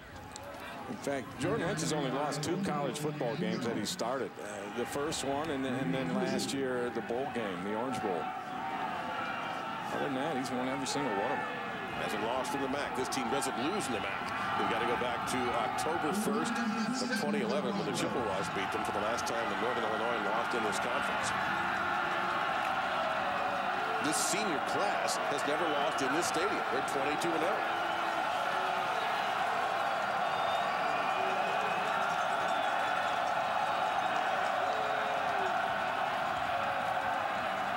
did a good job picking up the stunt. Terrell's got to get out of there now, though, and throws and has his man. That's Davis. That'll be a first down for the Broncos. He had pressure again from Perez Ford, who broke through, but Terrell kept his uh, poise that time and got a nice pass off to Davis for the first down. And that's when Zach Terrell's at his best, when he's on the move, and whether it's going to his left or to his right. He's equally adept at going either way and, and throwing accurate passes. I think he's much better on the run than he is stationary in the pocket.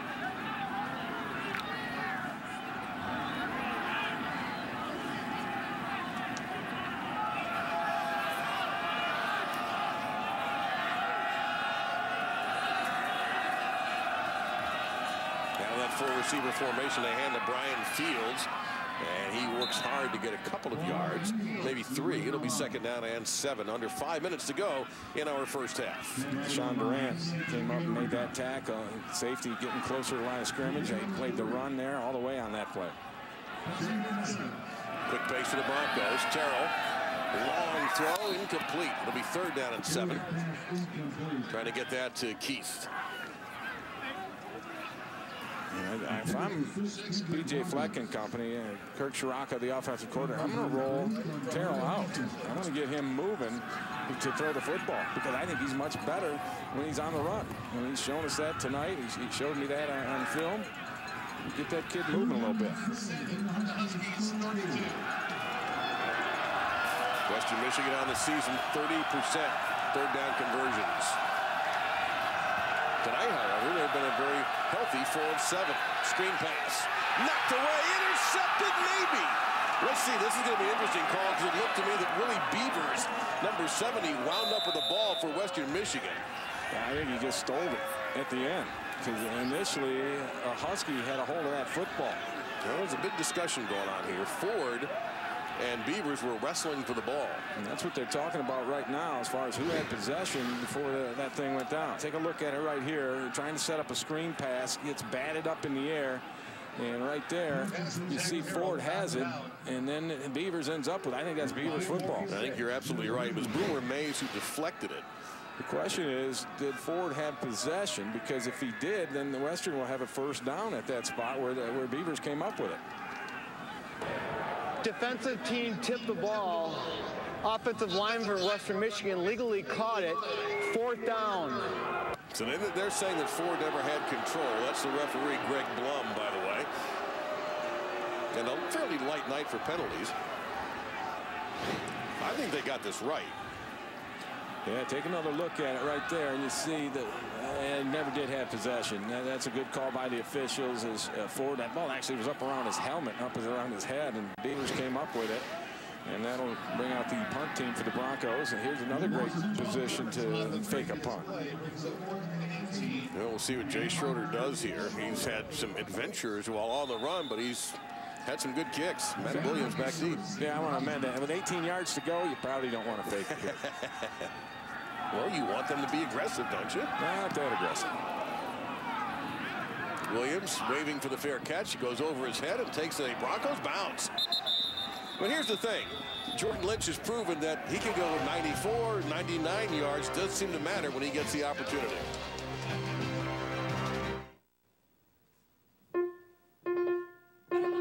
West.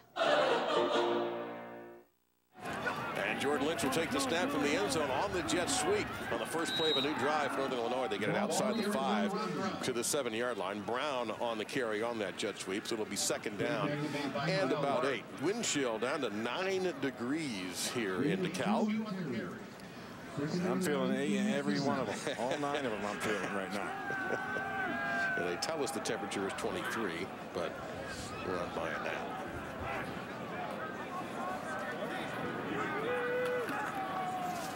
And Lynch on its own read runs right into a Broncos defender. Very short gain that time. That was Jarrell McKinney, sophomore defensive end from Detroit. So third down. Yeah, it looks like it'll be about six or seven. I'm going to say seven. Lynch already over 200 yards rushing in this half.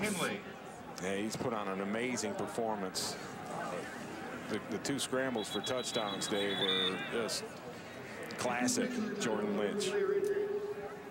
And while those numbers are difficult to read, that appears to be a 79. Matt Krempel, the redshirt senior from Columbus, Indiana, who's getting some extra attention from the trainers. Fifth year senior, right tackle. And this offensive line, you have to give them a lot of credit too, Dave. They, they I think, uh, fly under the radar quite a bit and don't get the credit they deserve. And I mentioned it earlier, as a unit, they are much, uh, the sum is greater than the parts. They don't have necessarily a a guy that stands out and is the so-called bell cow. But together, the way they work, they are outstanding. the great communication that they have amongst them, and the leader in that regard is Jared Volk, the senior, fifth-year senior left guard, number 77. You'll see him when they make the play calls up there. When Jordan Lynch gets the uh, the play from the sideline, he basically tells Volk first, along with the center. Uh, you know, Andrew Ness is right there as well, and then Volk, he'll spread the word. And then, and then the word goes down the line, and they get it together, and Volk is always in the proper position. Well, Josh Ruka, number 70, gets a chance to play now in the tackle spot. Hopefully Krempel will be okay and be able to get back into the game. Four out of five on third down conversions of the Huskies so far. And this is why. Lynch trying to get to the edge. Can he get there to the marker? They're waiting for me. Took a hit that time, but he gets right up. Point of pride with him. As a matter of fact, it's the defender, Donald Celiscar, who felt that hit more than Lynch did. Yeah, Celiscar came up and sold out. I mean, that's how you come up as a corner, and going to take on a big hit right there. well, he hit Lynch right in kind of the hip area with that shoulder a glancing blow. And, uh, it's not not to him. It was no. uh, hopefully he's okay. He, uh, you're right. He sold out. That's what I was exactly what I was going to say. And people who criticize cornerbacks for not hitting people, uh, there's an example of a cornerback doing everything he could to keep Jordan Lynch from getting that first down. Take another look at this hit. Here, here it comes.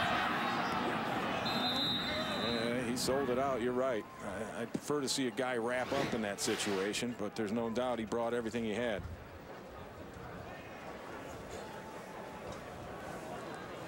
And it was enough to stop Lynch short of the yard to make. And the first time Tyler Wedel has been on the field as a punter. He's been holding for field goals and extra points. And he's punting into a win. The Broncos ought to be able, with Dareyon Chance back to receive, to be able to get pretty good field position here. This is a really short kick. And Western Michigan has to get out of the way. That doesn't even get to the 30-yard line. That punt only 14 yards. We go to where the studio is not 9 degrees. Chris Cotter and Trevor Matich standing by. Gentlemen.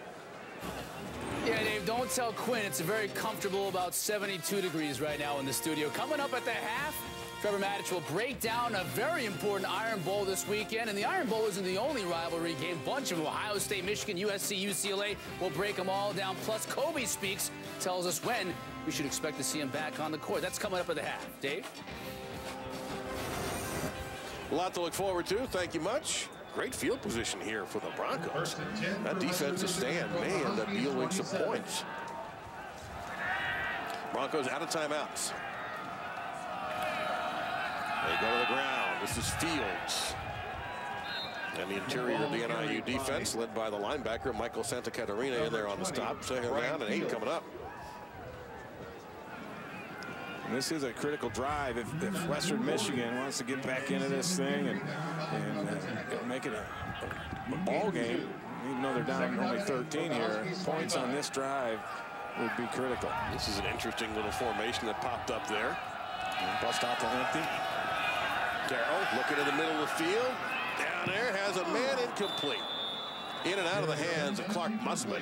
He's claiming he was held. The officials aren't buying it. It'll be third and long. And that was a nice throw by Terrell. He got it over top the underneath coverage, and Mussman, one way or another, has to come down with that one because that that's an opportunity right there. And I like the, the scheme, the busting out into the, the, the empty set, and then Terrell did a nice job of selling it to the right to that overloaded side, the trip side, and then cutting back to that seam route to the tight end.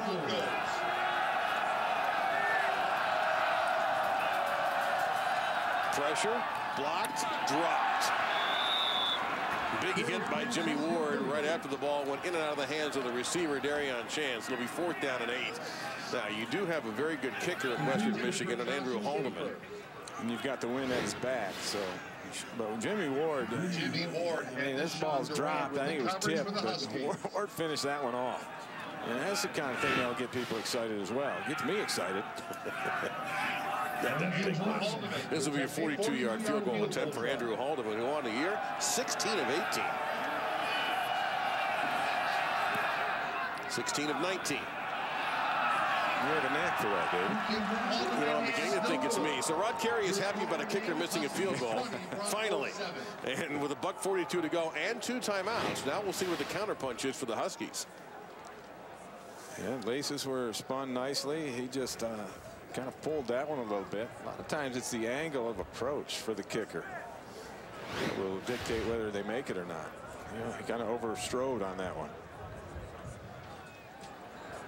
Well, Quint, you and I in the last couple of weeks, we have not seen some of the uh, better kicking exhibitions that are out there. Uh, the, the, cold conditions, you know, these guys trying to stay loose on the sideline. The snappers and holders, same deal. And the ball is like a rock. I mean, it is cold enough out here that that ball just has just doesn't bounce very well. And, and, you know, they shoveled this field at 9 a.m. this morning, so you, you, got the plant foot issue as well and a little slip. There's a lot of different factors. We've seen poor kicking this uh, tonight. Yeah, you're right about the rock part, uh, Quint. You know, the compression of the football is diminished in this kind of conditions. Well, Lynch forced to throw it away, so it'll be third down in a couple. Intended for Da'Ron Brown. And again, Western Michigan with an opportunity here, Ray. If they can hold. Well, you get another 14-yard punt, and they'll be in good shape. Of course, Northern Illinois can bleed the clock as well. Um, and use a timeout just to kill some time. Right, Western without a, a timeout left here in this situation. And those gusts, and I'm far from a meteorologist, but they got to be in the 20s, maybe higher. Stingley in there, the backfield, number 42 behind Lynch. And Lynch will keep it. There you see the example of his ball handling deftness.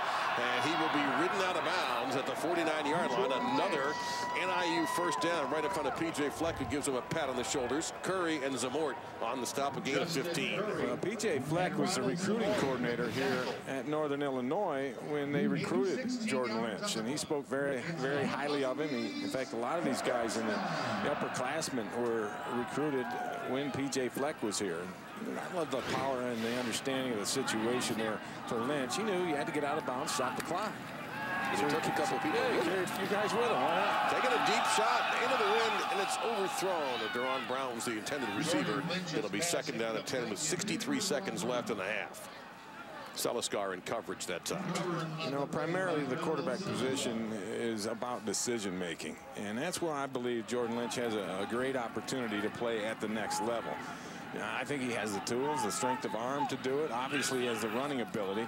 Uh, but I think he can make all the throws. The decision making is what sets guys apart. And he's an ace at that.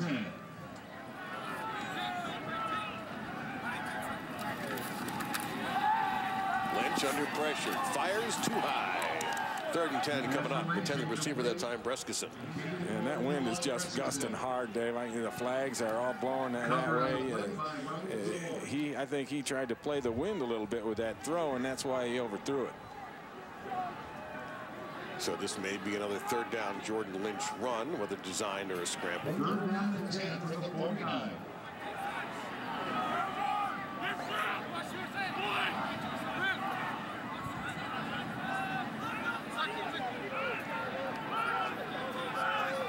He might punt it too. No, sorry, third down. Lynch over the middle. Brescacin saw the safety come over and thought the better of it. So it'll be fourth down. And Lynch has done some pooch punting, but in this case, he'll come off the field for Tyler Wedel. Tough to throw and, and move the football in a two-minute drill against that stiff wind. Blowing and gusting into his face. And Dareyon Chance was all the way back to the 10-yard line, moved up five yards, knowing the conditions. The last punt for Wedel into the breeze was just 14 yards. Yeah, I'd move him up another five or 10 myself. That's why. Well, it's certainly not Wedel's fault. He gave everything he could that time. That's going to die and go the other direction. Northern Illinois just letting it go to the 34-yard line. It has been a difficult evening if you are a kicker. You don't get the play. Then they run you out there when you're not necessarily warmed up, but it doesn't always work out. Yeah, it's tough, and we saw early on the, the missed field goal here with the wind at his back, and then tried to overcompensate a little bit there, and, and now the, the punt, the 14-yarder. Well, this last one was 17. Well, it's a marked improvement. So without any timeouts, the Broncos take over at their own 34-yard line, 42 seconds, and they've had a field goal miss tonight.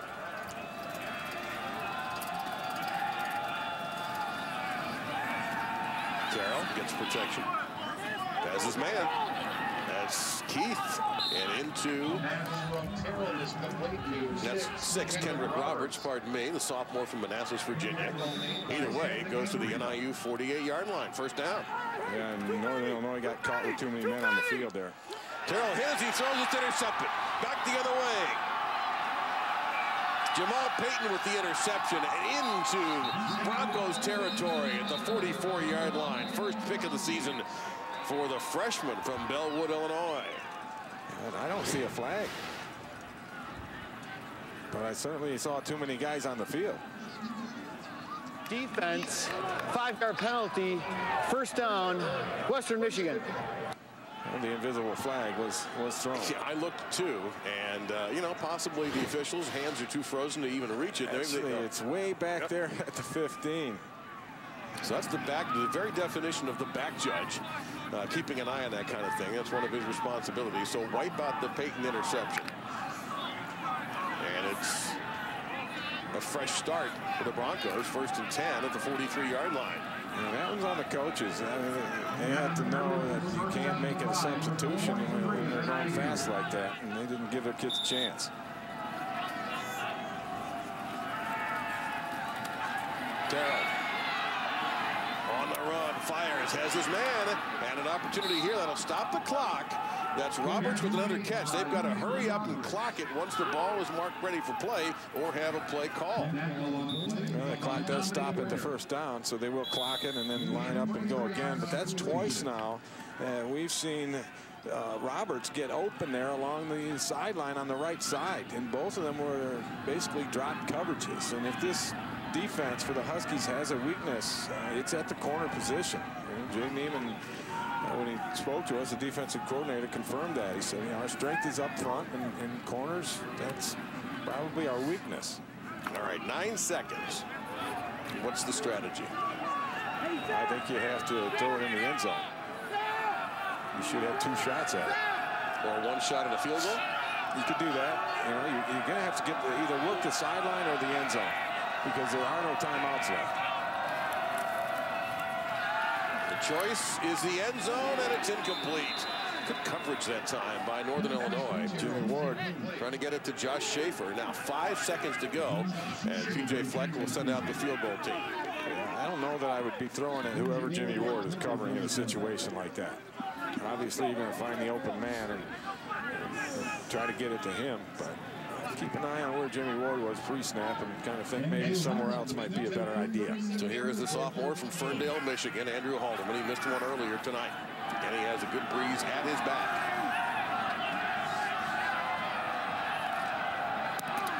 Blocked. Opportunity here for Western to return it. That's Deshaun Durant trying to pick up some blocks down the field. Can the kicker and Harder get in his way? They do. And that's how the half will end with a blocked field goal by Northern Illinois. Outstanding special teams play, and the kicker woes continue. It has been a brutal night for kickers, and it looked like George Rainey got a hand up, got way in the air for that, and Grant took off. And Quint is standing by with Coach Carey. Coach, how would you best describe the play of uh, Jordan Lynch tonight? Well, I think he's been really good. I mean, you know, he's running up and down the field, got some touchdowns. So, I mean, he's doing his part. You know, we got to get some stops on defense. And, and you know, we got that. Those last two drives offensively weren't good enough. What, what's going on with the kicking game? Well, you know, listen, it's hard on everybody in the kicking game. You saw them, too. It's a tough night in the kicking game and the throwing game. Thanks, Coach. All right, thank you, Quint and Coach. 229 yards and two rushing touchdowns for Jordan Lynch. Our halftime score to College as NIU in front of Western Michigan 20 to 7. Let's go to Chris Cotter and Trevor Matich in studio for the College Football Halftime Report. Thank you, Dave. Chris Cotter, Trevor Matich. And Trevor, as you heard Dave say, 229 yards rushing on 17 carries for Jordan Lynch. He does have a pass, touchdown pass as well. He's been that entire offense here in the first half. He has. And the thing is, he's not really fast enough on the track to get that many yards rushing, you would think, but he gets it all on the football field. And that's one of the impressive things about him when he runs. He doesn't burst out of there like a DeAnthony Thomas, but he gets to 100% of his full speed quickly, and then he shows physical courage. Now, as a quarterback, he could run out of bounds. He could slide. Instead, there's the defender, and he wants to go hit that defender. That's the mentality that this team takes from him. And it's not just as a, a runner when he can initiate contact. As a passer, when he's defenseless in the pocket, he has the courage to stand in there and take that hit as well. Now, that's a, an offensive lineman, really a defensive lineman's mentality. But he still has the ability to make the finesse play. This is a pinpoint pass over the back shoulder of his receiver for the touchdown. And that's a nice throw for a guy that's got thick wrists, thick ankles, built more like a lineman than he is a quarterback. And this is what I mean when I say that he gets up to his full speed. He won't outrace a lot of those small defenders in a foot race. The problem is, for those defenders, when he's in full pads, he runs faster than they do, when they're in full pads. And that's one of the things that's great about him. He gets 100% out of his capability, and he does it with tremendous courage, and it's one of the reasons that this team plays with the kind of style that he brings. Yeah, thick wrists, uh, thick ankles, and numb wrists and ankles out there in that cold weather, but he's getting it done. We already know Northern Illinois is going to play in the MAC championship game. Who are they going to play? And this obviously is going to go a long way to determine whether Northern Illinois is going to the BCS or not. They're going to play the winner of Bowling Green and Buffalo. This game is going to be played on Friday at 1.30 Eastern on the U. Buffalo 5-0 at home this season. They're going to be playing this one uh, at, the, at the Rich Stadium there. At Bowling Green, they've won 7 of 10 meetings all time in this series, so something's got to give. Two very good teams looking forward to uh, hopefully derailing Northern Illinois if they can have a say in it. All right, coming up, a look at the Iron Bowl. More meaning this year than maybe ever. Ship for life since 1946.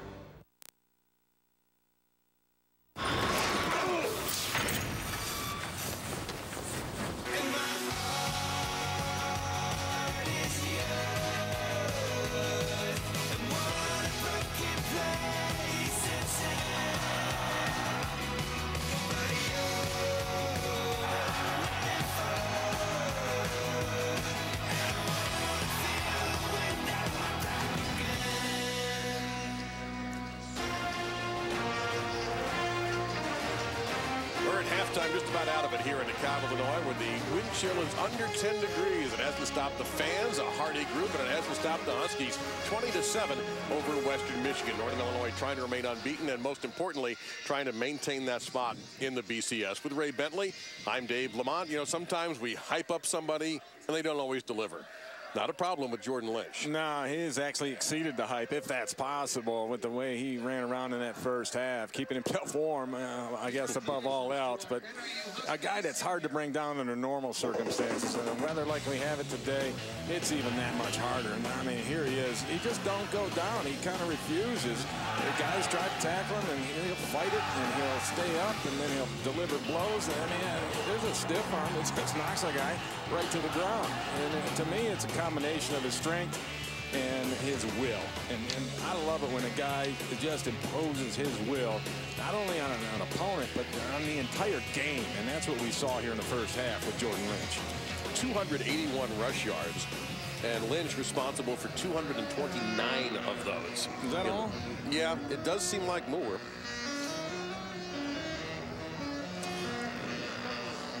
So Western Michigan will be kicking off. Snow seems to have gone away. The cold temperatures obviously have not.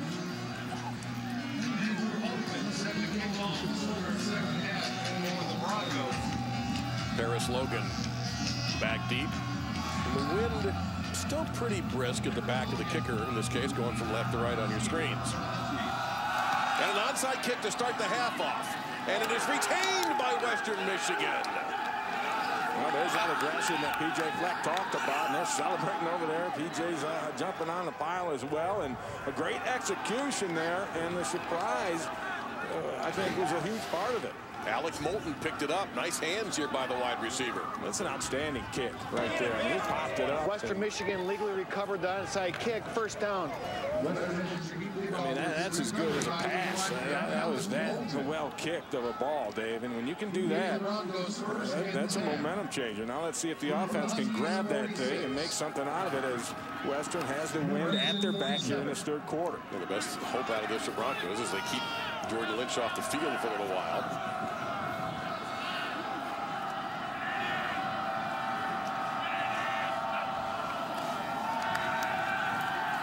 Zach Terrell throws, caught, knocked out of bounds. That's going to be a first down. That's Kenrick Roberts, who's played a good game tonight for the Broncos. And uh, Quint, did P.J. Fleck tip you off about that onside kick? No, he didn't, but he did tell us creative plays are their explosive plays. Trick plays can be their explosive plays. And you watch this team come out of the locker room after halftime. You never guess they're 1 and 10. You never guess they're losing by 13 points in, the, in this ball game. Uh, his optimism, his energy, his positive attitude, uh, the, these kids are still playing hard. Yeah, that seems to be the, the mantra around that program. Maybe we've talked a little bit about the row to boat mentality, and maybe you're getting an example of it right here. Pass down the field, almost caught. Instead, it's going to be second down and 10, trying to get it to the very talented freshman Corey Davis. And he was well covered that time. Yeah, Marlon Moore. Marlon Moore, yep. Moore, nice job down there getting the body position, then able to knock the ball away at the very end because Corey Davis is a dangerous threat down the field. And you see the good hands on him. He kind of worked him a little bit. And then he got his eyes around to find the football. And that's the number one thing that you see, even on Sundays, that guys just, for some reason, aren't able to do. Well, Marlon Moore just did it to perfection.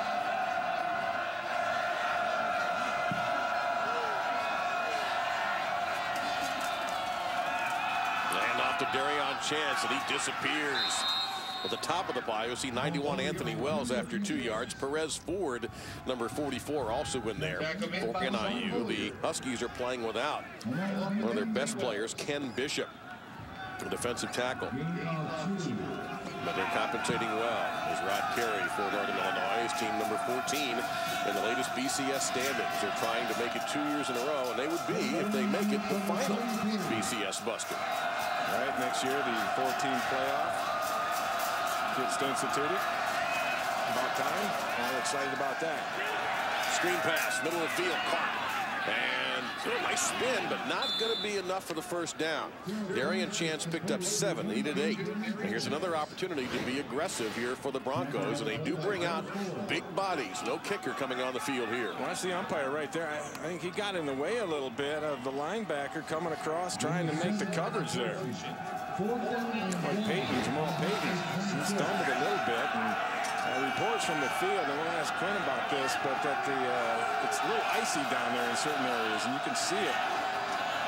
The remnants of the snow on the field, that's really ice. Javante Bowles, the lead blocker, 55. They don't go underneath into the short run. Instead, another interception, almost anyway, by Jimmy Ward off a deflected pass. He almost had that.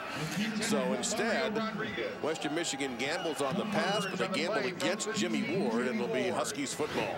Yeah, I don't like those odds against Jimmy Ward, that's for sure. And I don't believe there's a tight end around that Jimmy Ward can't cover and just throw a blanket over top of. And that time he had Rodriguez, and, and, there was no chance of that ball getting in there and being complete.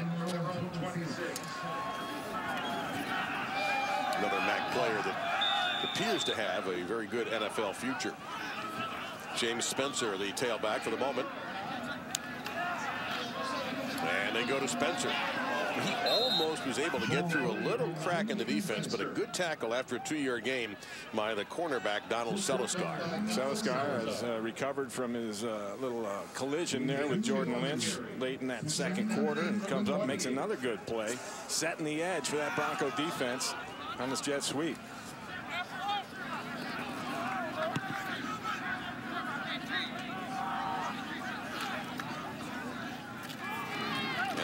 The jet sweep. They go back to Spencer, and he just disappears in the middle of the line. Picked up a couple, maybe to the 31-yard line. Mike Jones, who uh, one time was a Michigan Wolverine, in there on the stop. It'll be third down, and we'll call it pretty much close to six.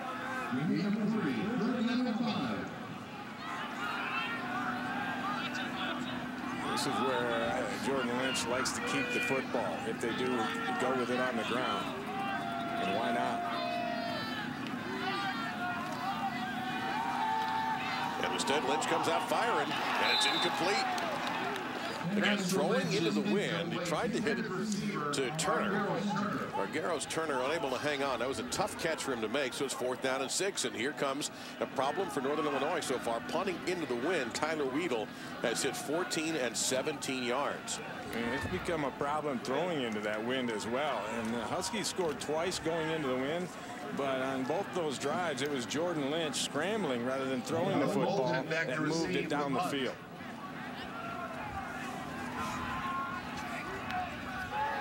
Fake. Yep, they do go to the fake. Here's Wedel taking off. He's got a first down, and he slides at the 43-yard line.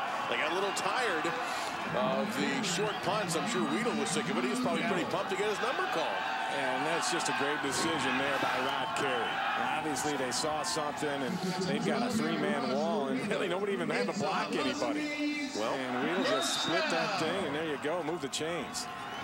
Two special team surprises, and we haven't even played five minutes in this third quarter yet. Yeah, Rod Carey says, okay, you want an onside kick? We'll fake a punt. And back and forth they go. Now Cameron Stingley, 42, is into the game. He is off the right hip of Jordan Lynch. That's Brown in motion. And it's Brown who hangs on to it. And he spins out of one, but can't spin out of that tackle. That's going to be a gain out to the 46 of three yards. Second and seven. Hit made by Justin Curry, the Broncos' top tackler. And that time, the Bronco offense was able to, again, set the edge. And what I mean by setting the edge on that outside play is somebody is along the line of scrimmage and they force the running back or the ball carrier back inside of them. And that's where the rest of the defense is, and that's where the troops can show up and, and rally and make a tackle. Lynch kept the football.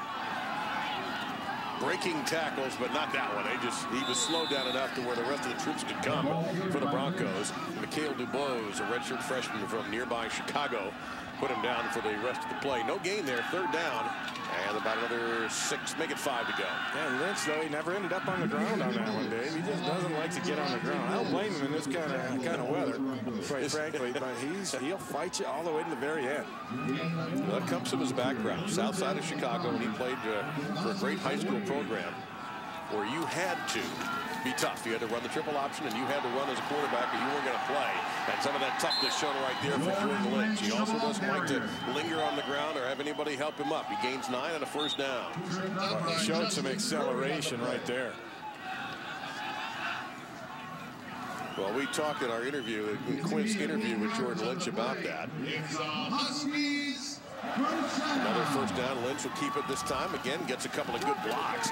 Gets inside the 40 to the 37-yard line. Here's what Lynch had to say about that toughness that he brings to every football game. You know, one of the things I always said when I was growing up that I would never be, you know, carted off the field or, you know, have anyone try to help me up. As you can see, as when I get tackled, I never let anyone help me up. You know, I always try to pop up as fast as I can and, you know, never take someone's hand to help me up. And by the way, that includes his teammates, right? Nobody helps Jordan Lynch up. And in the moment, he is stacked up a yard short of the first down. It'll be third down and a yard coming up. Yeah, I, I, took a different view of that. I never helped anybody else up. of course not. but I never thought of uh, not not letting one of my guys help me up. That, that's that's a, a great thought there. Uh, however, I think the execution of it is, is not always true. Now, if one of your own guys, your own color, reaches a hand down to help you up, you're going to let him help you up. He claimed that he doesn't even allow that. Yeah, but he just did on that last play. Well, there are exceptions, apparently. so here's the handoff of the yard. No, nothing doing. Shut down by the middle of the defense that time. That was Roosevelt Donaldson getting an opportunity, a redshirt freshman from the Miami area. Fourth down and a yard to go. And it looks like the Huskies are going to go for it. And this field position, absolutely. And just a yard to go. Another 10 of 25 on fourth down this year. And they'll get it easily. Make that 9, 9 now 10 of 15 on fourth down this season. No problem with Cameron Stingley, the downhill runner, the redshirt junior from Romeoville, Illinois. With Stingley and Spencer, you've got a power back and a speed back that NIU can trade off. In addition, of course, the obvious threat of Lynch, who's got 247 rushing yards tonight. And they don't want to throw the ball going into this win because it's been ineffective. Lynch on the design run. Gets to the middle of the Broncos defense, and they're starting to wrestle him down a little bit better. That was Trevante Bowles, 55 in there who dragged Lynch down and had some help come in there. So a gain of three to the 28. It'll be third, second rather, second down and seven. Well, Western Michigan is loading a box. They're playing man-to-man -man on the outside. They know the trouble that Jordan Lynch is having throwing into this win, so they're stacking the box against that run, and that's why they're having a little success. 13th play of a clock-eating drive here following the fake punt that kept this thing alive. Eight guys right in that box right there. And Lynch reads it. Steps up, wants to go the other way. You can see they're spying him. Lynch gunning it toward the end zone. He basically just threw that away. It'll be third and seven. Good job that time by the Bronco defense. He was trying to actually pull one. He tried to sneak his, his back along the sideline. And you're going to see the fake come through here in a wheel route along the outside. Keon Adams of the Broncos. Yeah, you see he gets the fake and away he goes. Good discipline there by the Broncos. You see a man picking that up because that's what they wanted. That's what they called and dialed up.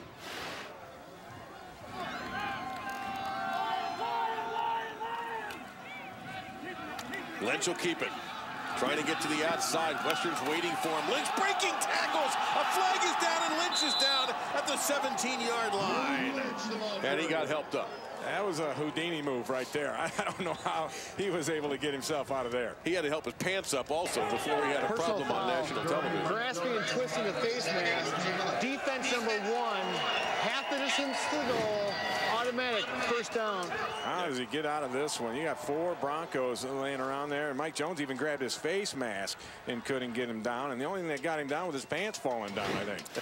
so Mike Jones hit with a face mask penalty, and that's going to bring the ball as they're still marking. The umpire has it going inside the 10, and they're going to finally stop at the eight-yard line.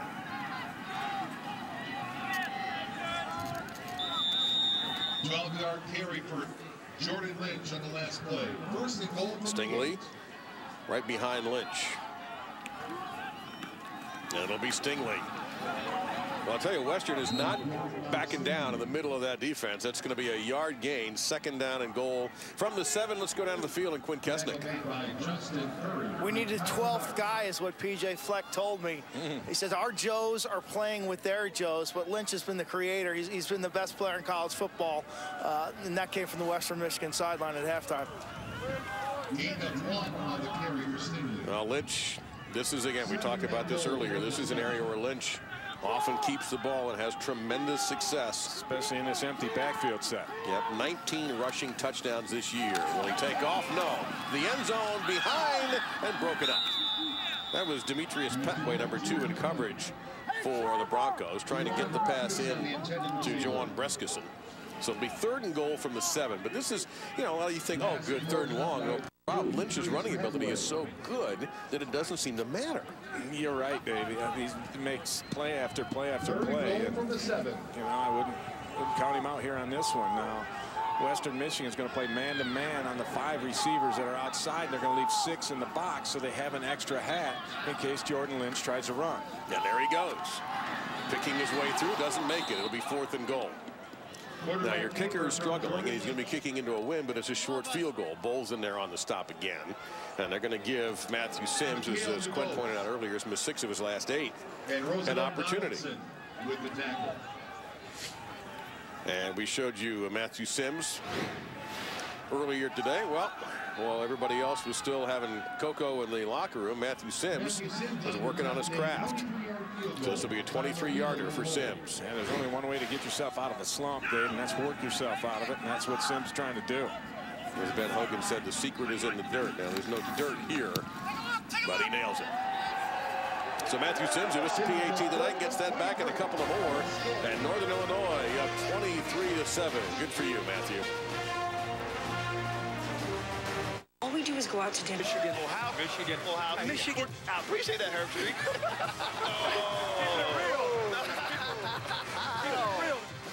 Surgery, wrongful death, and workers' compensation law. Well, there's Husky Power. There's the new diesel, the old, the diesel, I should say, as they're retiring diesel and getting a new mascot for the Huskies. They are in charge in this game, 23 to 7. That new one's name is Michigan. Thank you.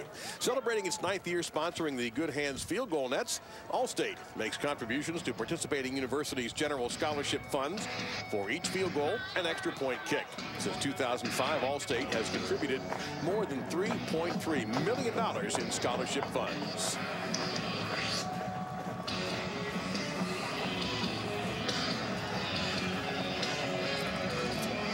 Well, in the kicking game right now, you don't know what we're going to get here.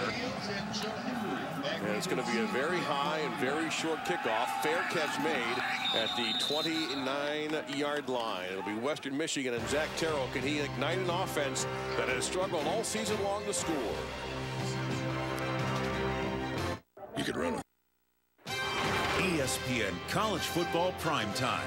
Brought to you by Taco Bell. Sometimes you gotta live Moss. And Call of Duty Ghosts. Available now. Rated mature. Now, Diesel on the left is so beloved here that on senior day, Diesel went out after Jordan Lynch, okay? That's how beloved Diesel is as a mascot. Mission is the new Husky mascot. We were here yesterday for our meetings with the coaches, and it was snowing pretty hard. and they were running. I think it was uh, Mission. It was out there getting a little training run in on the field in the snow. They were built for that stuff. Terrell, pressure, runs into it, and he's down. Lose a yard, second down and 11 coming up. Jason Meehan in there, number 49, and a junior from Webster Groves, Missouri. Actually, he's been chased around the edge by uh, Stephen O'Neill, and Meehan kept working up in the middle there and got things forced back into him and makes the play. 29th sack by the Huskies defense this year, first on the night.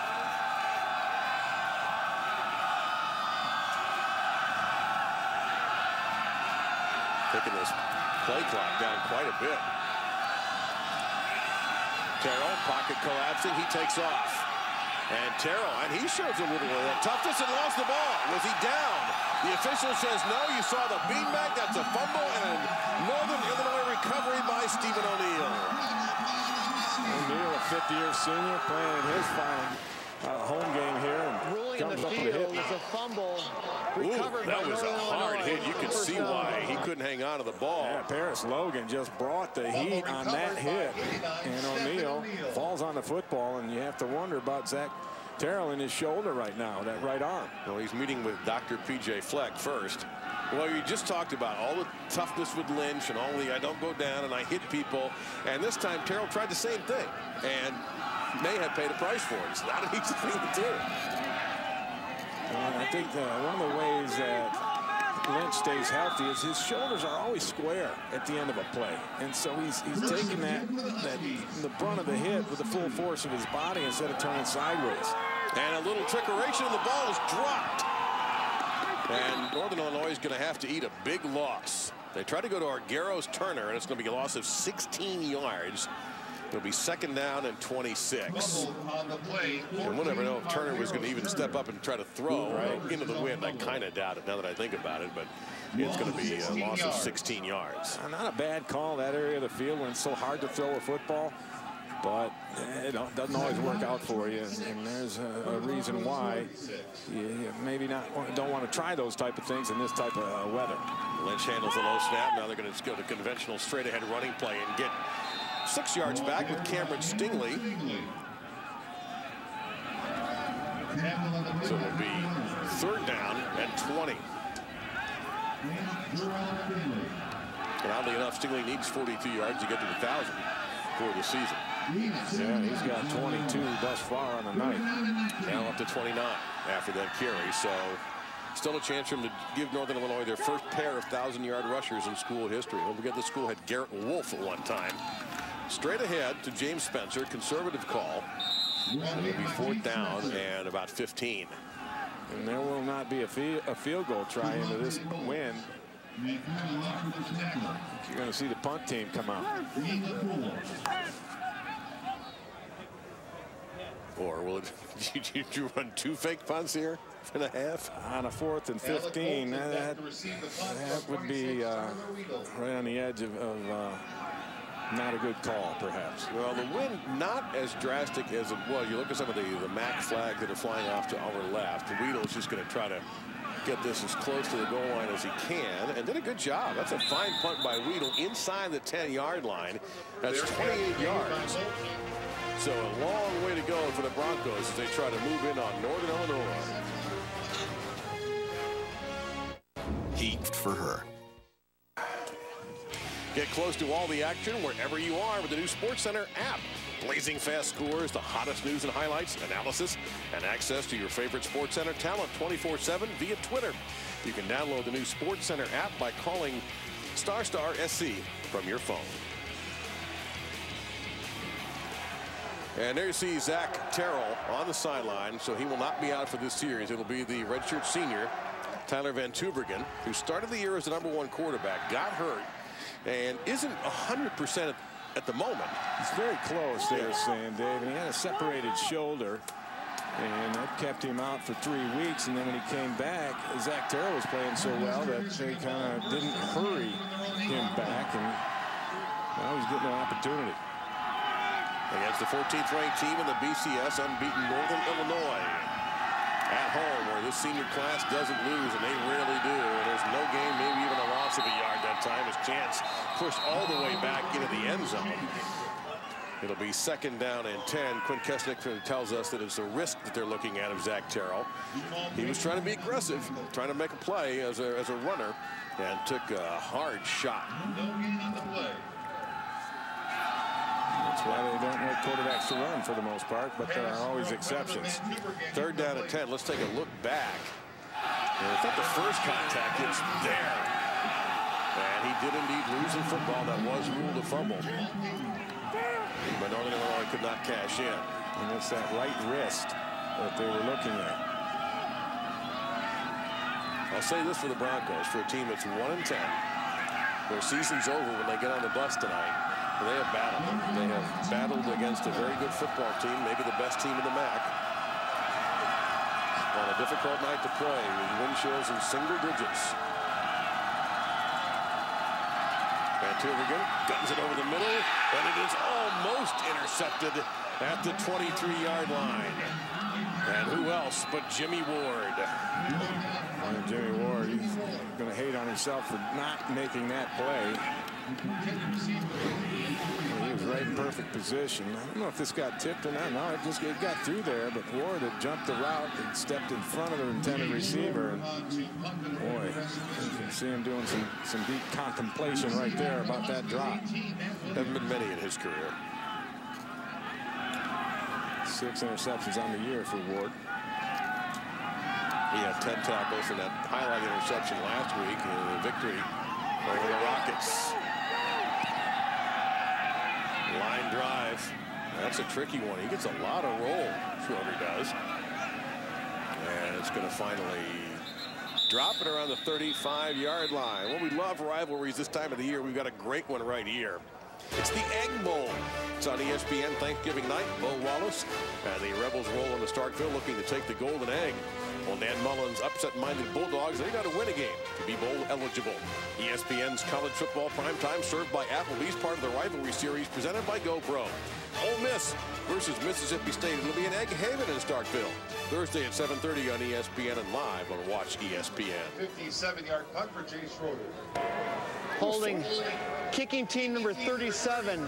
10-yard penalty be added to the end of the kick. First down.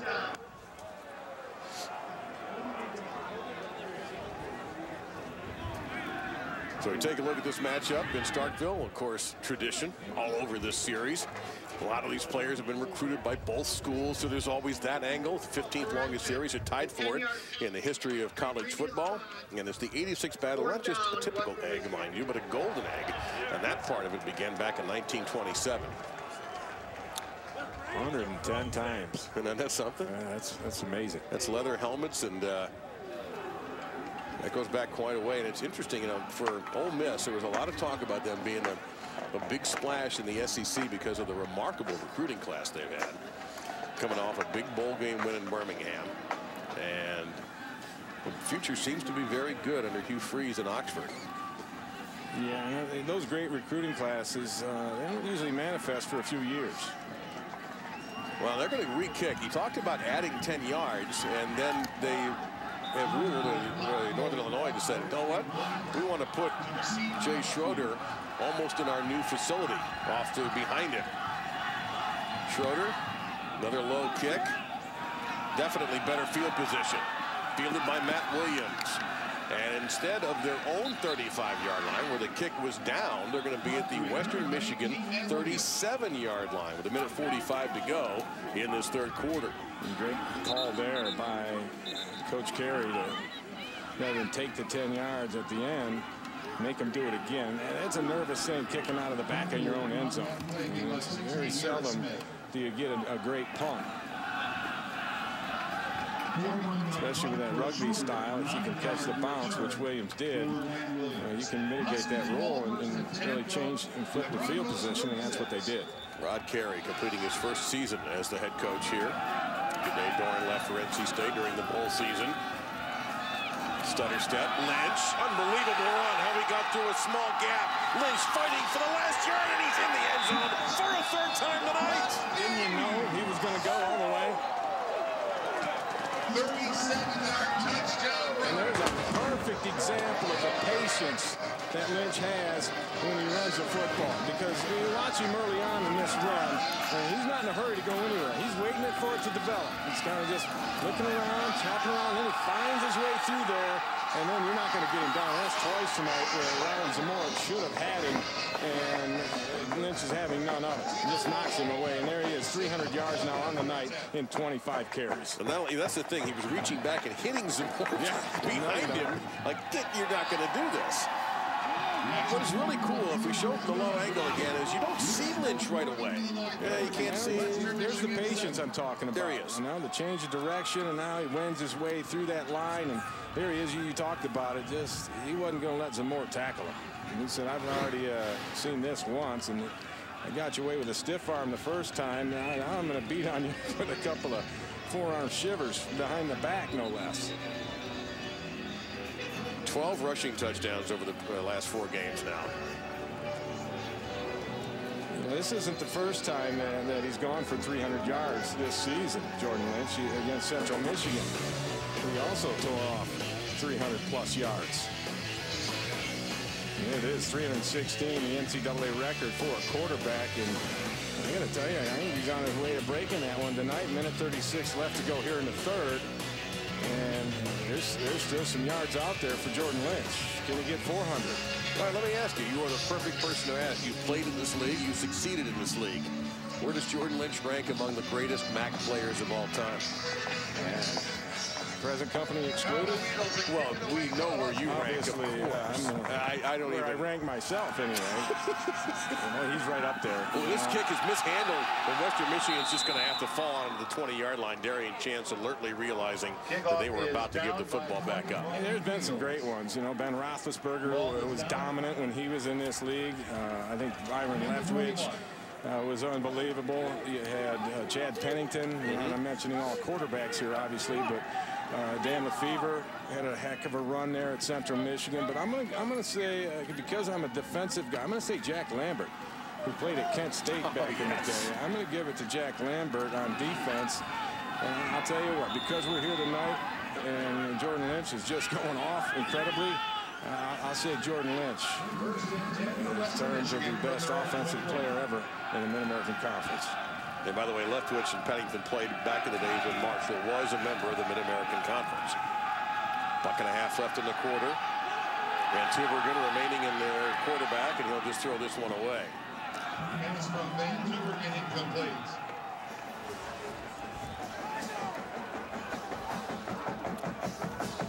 So we've talked quite a bit about Jordan Lynch. And his ability to, do, whether he'll be invited on ability, whether he'll be invited to New York City. So that leads us to our Maction trivia question. What was the highest finish for a MAC player in the Heisman Trophy voting? Hmm. I actually know the answer. I do too. Because, because you uh, you told me. but we're going to make you wait. Make you wait around to the fourth quarter, and that's when we'll reveal the answer. Not that long away. It is not Ray Bentley. For those of you trying to Google it, Brian Fields picks up about five there. So Boomer May is in there on the stop. It'll be third down and five. The next game for Northern Illinois will be the MAC championship game from Ford Field. That'll be on a Friday night.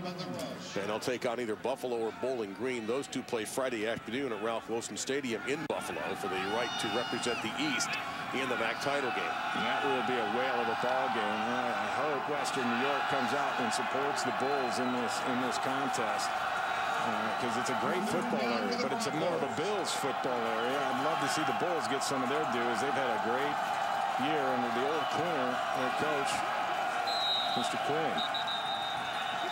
We have a timeout taken by the Broncos with 35 seconds remaining. And Jeff Quinn in his third year uh, in, in, with the Buffalo Bulls and doing a great job there. Well, here's the deal. Bowling Green, best defense in the MAC, possibly. Buffalo's got a good one, too. And they're looking for their first nine-win season. you got to go back to when they weren't in the MAC. They weren't even Division Two. They were a Division Three school. And that's on ESPNU Friday at 1.30. I'll get a chance to watch a little of that before I get to work on Friday. But I'm looking forward to seeing what happens and very much excited about the MAC championship game. You got Khalil Mack, the defending, I guess, defensive player of the year in the Mid-American Conference.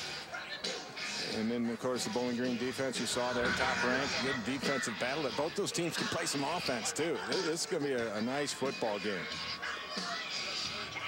And then the winner will be sitting around for a week watching film of Jordan Lynch.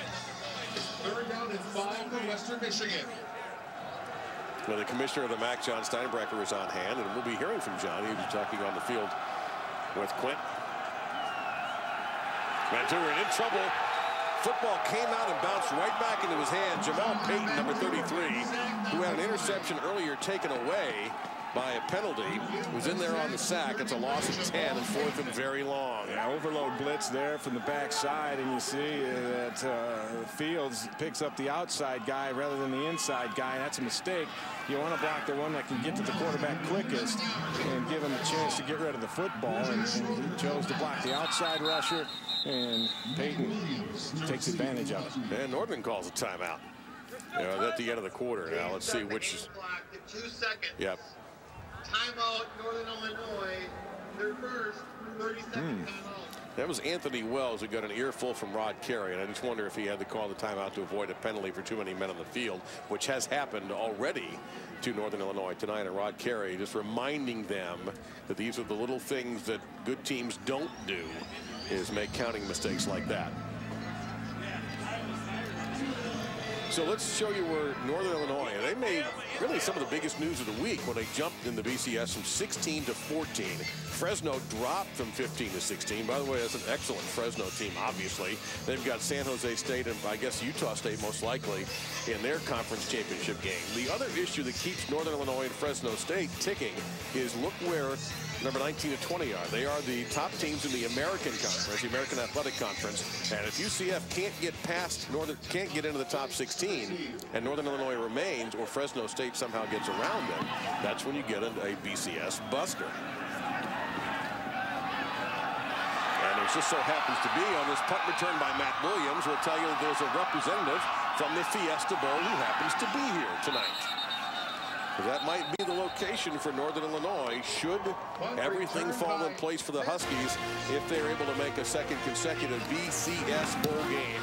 Jordan Lynch tonight has rushed for 300 yards.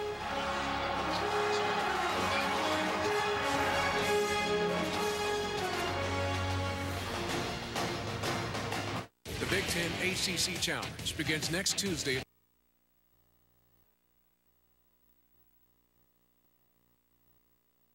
Body after. Let's start the fourth quarter. ESPN. Calvin? Download the Watch ESPN app to watch ESPN live anytime, anywhere. Brought to you by Vizio. We're about to start the fourth quarter. Jordan Lynch has rushed for 300 yards tonight, right on the number. That's what Western Michigan has for total yards. 200? So Lynch has a football field's difference between his own performance on the ground alone and what Western Michigan has done entirely as a team on offense. Cameron Stingley in the game at the tailback position. I'm surprised Lynch is still in there. Well, he could I would get, take him out. quite could get the all-time record here. Let's not forget. They may be able to do it one run. And Jordan Lynch putting his shoulder. He's just shy of his own record for most yards by a quarterback in a game. Uh, if they mark him at the 24, then he's tied it. That's 16. But this is what I noticed about Lynch last week and before. Watch at the end of the run. You want me? He'll punish you. Yeah. I love that. It's a 15-yard game, so he's got to get two to set the all-time record for a college quarterback owned by Jordan Lynch. Yeah, I'm going to go out on a limb and say this is his last drive here tonight. Handles it. There's the record, Jordan Lynch. Takes a couple of hits, but again, and uh, he's taking hands tonight.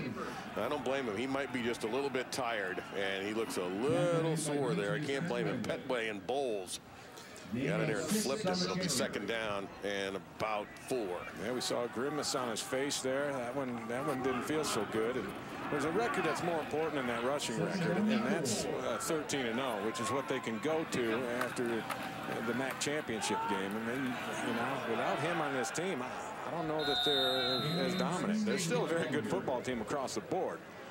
But they're, they're not undefeated, in my opinion. Well, Lynch has done the record, 321 yards tonight, just on the ground alone. Third down and less than a yard to go. Handles the snap, gives it to Stingley. Stingley lowers his shoulder and stiff resistance by the Broncos defense. Now, did he get to the mark is the issue, of course. And that was uh, Trevor Ishmael, number 27, who just did not give an inch for Stingley. And he didn't get it. So it's going to be fourth down. And do you give uh, Matthew Sims another shot here? Here's your answer. Yes, he does. That, that slump. And you give. Jordan Lynch a warm parka and a cup of soup. Yeah, and, and be done. He does look a little, little beat up, a little tired. And Jordan Lynch, by the way, is not a Cam Newton body. All right, he's six feet-ish and uh, 220. Solidly built, but yes. not the biggest guy in college football. He snuck it in there. All right. You know, I hate. I was a little disappointed that a few fans booed him when he came on the field, but Matthew Sims silences his doubts and his critics. And Jordan Lynch, it may be all for him tonight. Zero heartburn.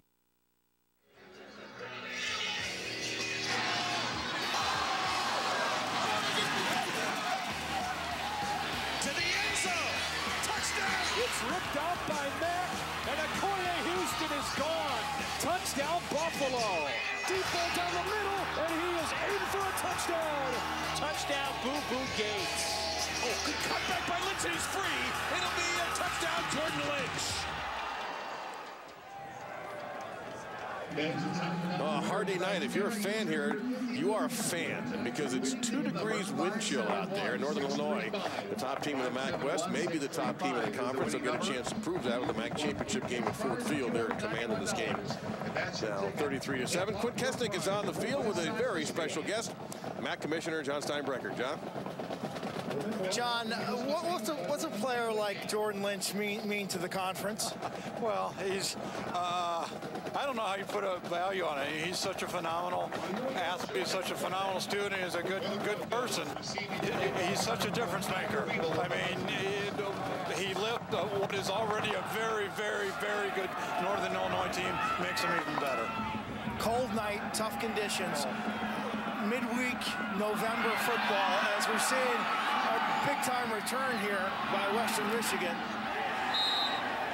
Uh, what reaction have you gotten from the schools, from uh, the players and from the, the communities for having the, the, the, midweek games? Well, you get a lot of everything. First off, it's a chance to really shine the spotlight, spotlight on our institutions and our student athletes. But there's some trade-offs. It makes it challenging for our fans to get out to the games and the students get out to games and things like that. So you try to balance it.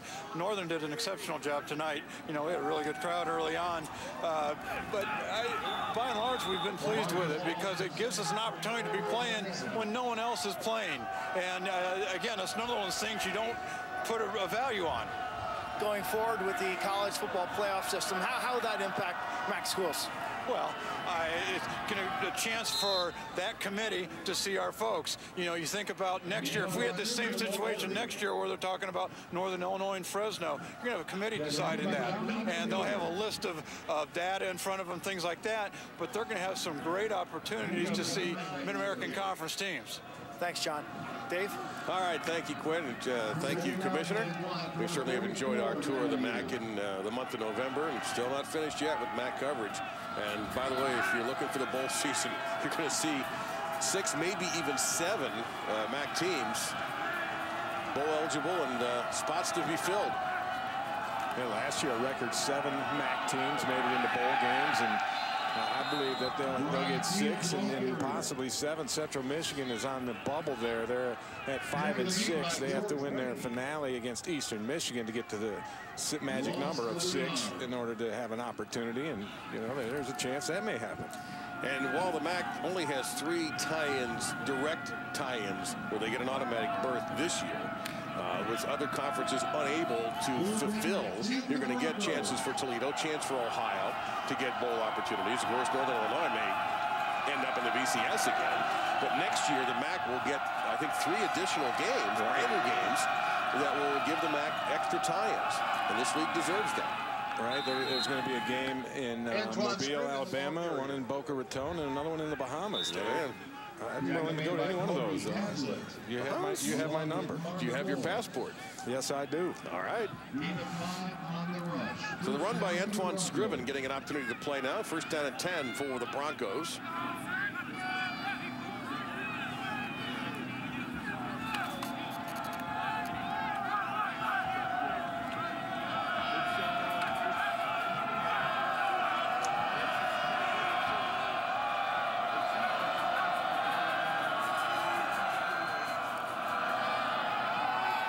And Scriven running hard.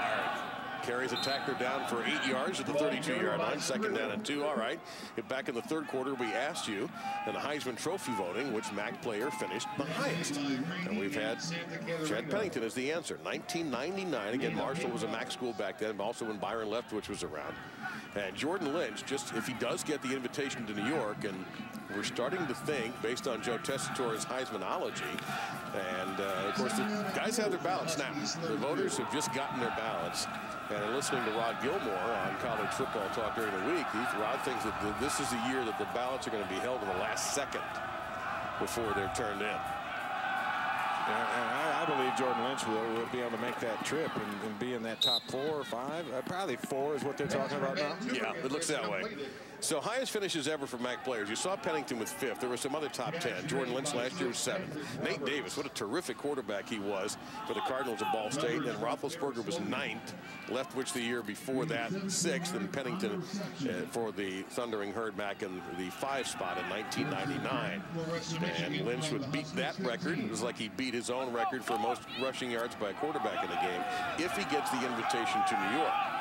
So the dropping and lowering of the hopes for Johnny Manziel and Marcus Mariota certainly increased the chances for both Andre Williams and for Jordan Lynch. Short pass. Oh, it's Rodriguez.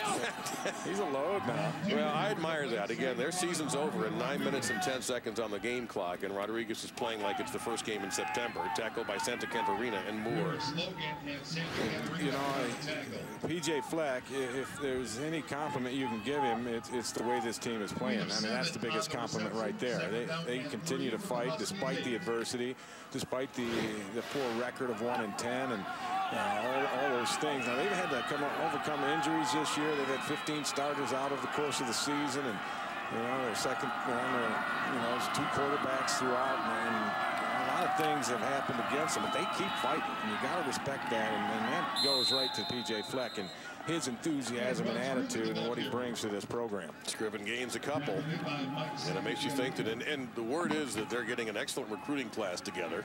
And of course, as you said, I agree completely. That takes a couple of years to gestate and see if it's going to work. But uh, the fact that Western Michigan is starting to be mentioned by some of the recruiters is, is having a good time, a good year in getting players ready for that national signing day in February. We'll see. And that's the strength in the background of P.J. Fleck. You know, you look at this senior class here at Northern. He was a recruiting coordinator here when they were recruiting this group. So uh, that kind of shows you something right there. Scriven again. Nothing. I don't think he got it, Dave. No, he didn't. Uh, based on the official at the far side of the field, no gain on the play, fourth and a yard to go. I think you got to go for yeah, it here. you got nothing to lose at this point. If a field goal isn't really going to do a whole lot for your morale or anything like that, you know what? Try and punch it in. I want to see that overload that they ran and scored their only touchdown with in the ball game, that unbalanced line to the right, and see if they can get something done with that. Let's see if Trevante Bowles, actually, he can't sneak on the No. Uh, if he was there, he, they're going to let this wind down and take a timeout, I believe. They might have two of them left. Yeah, P.J. Fleck has already indicated the official. Yeah, and then, then maybe that will allow them to, to get that group together uh, that scored the touchdown, and that's what I do. So 7.04 to go. Let's find what's on PJ Fleck's mind when we return to DeKalb with Northern Illinois looking like they're going to finish the regular season undefeated. So Ally Bank has a raise your rate CD that. And I must go.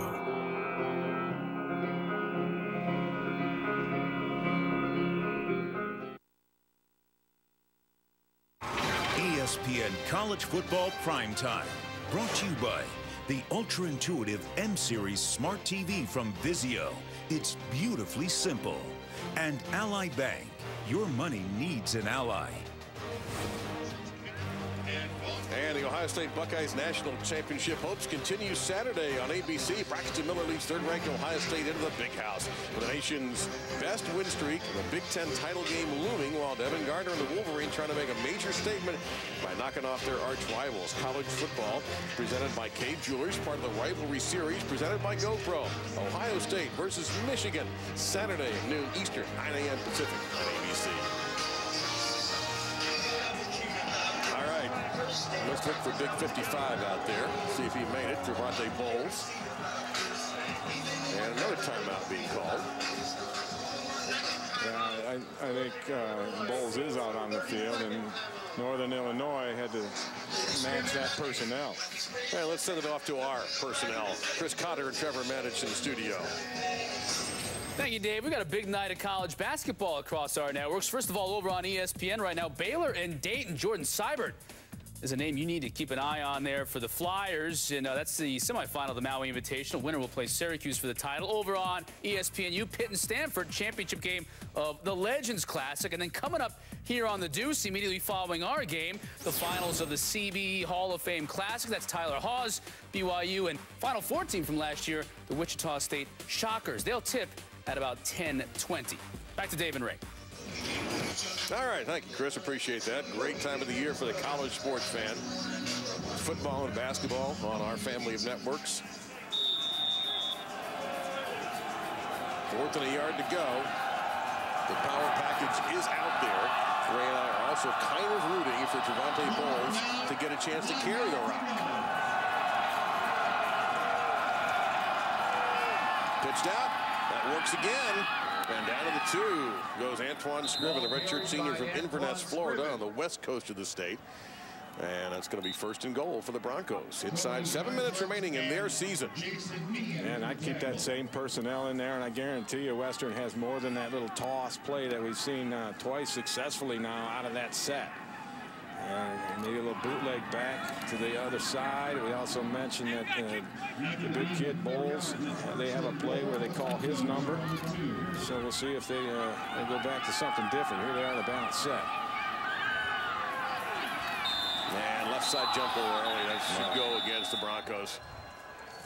And it will. False start. Offense number 85.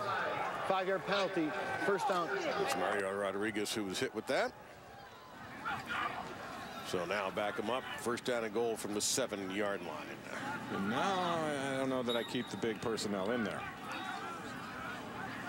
But they will. After the penalty, Broncos have first and goal from the seven. That's the kind of thing that PJ Fleck has had to endure. His team still making some mistakes they've made early in the year. They have improved. I mean, a gain of a couple at that time. In the beginning of the second game of the season, they, they lost to uh, Nicholls State in their first game at home at Waldo Stadium. That was a tough loss for the program because you know, hopes were high, new coach, new attitude, all the row the boat, and the stuff that was being promoted, and uh, they fell flat at home. And it was a tough one for P.J. Fleck and his staff.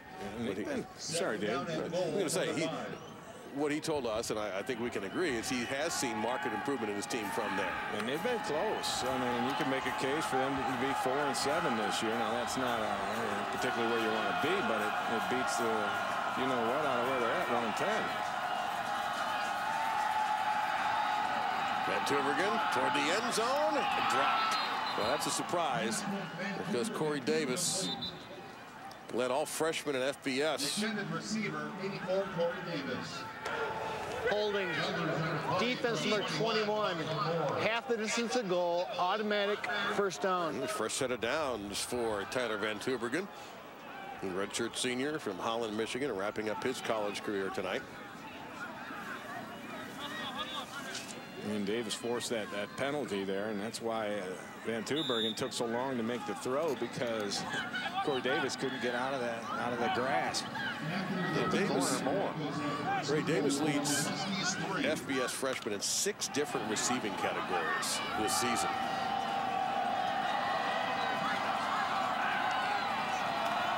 Power straight ahead and short about a yard short. Northern Illinois hasn't given up a fourth quarter point in their last three games.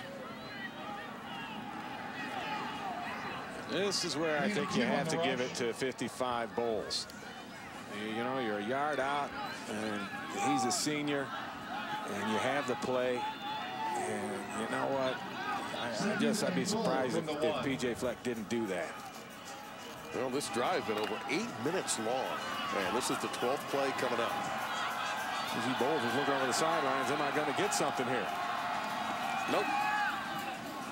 Did they get the touchdown? Yes, they did. He'll get credit for a good block is what he'll get. And Western Michigan gets one more on the board. Antoine Scriven. Antoine Scriven had a very nice drive there. Scriven, his first touchdown of the season.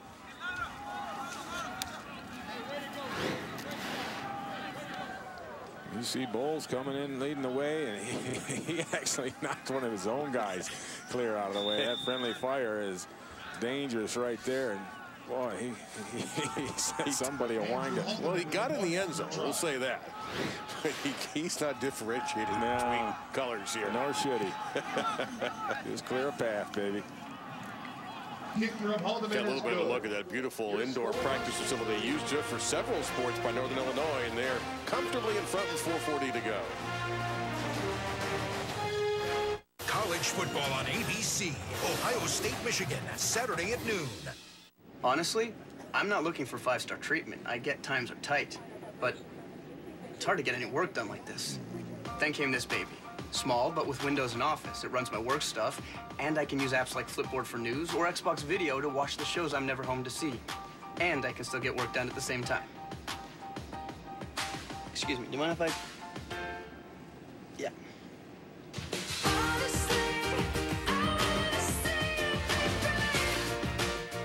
We have four hours to find your dad a gift, and he's got to have the best, so we need to stay focused. James, my rock. Can you keep it together?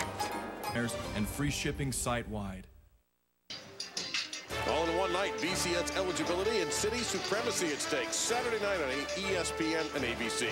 At 7.45 Eastern on ESPN, James Franklin and the fifth-ranked Tigers can clinch the SEC East with a win against Heisman candidate Johnny Manziel and the number 21 Aggies. And at 8 on ABC, crosstown rivals battle for the victory bell. Brett Hundley and the 22nd ranked Bruins battle Marquise Lee and the 23rd ranked Trojans, part of the rivalry series presented by GoPro. The fun begins Saturday night with Texas A&M Missouri at 7:45 on ESPN, UCLA USC at 8 on ABC. So Missouri wraps up the East. What a win, what a season. When they thought they lost James Franklin for the season, he's been able to come back. South Carolina, though, wins the East and Missouri loses. The winner of the Iron Bowl clinches the West, and if Auburn wins, they'll have the tiebreaker should they pull off a mild, if it's even an upset, against Alabama. All right, it'd be an upset. 45, Andrew Haldeman. There's the short kick. Again, the win is, oh, that was mishandled. That's a loose ball recovered by Northern Illinois at the 19-yard line. So we think Jordan Lynch's evening is finished. Or is it? Is he going back out for more?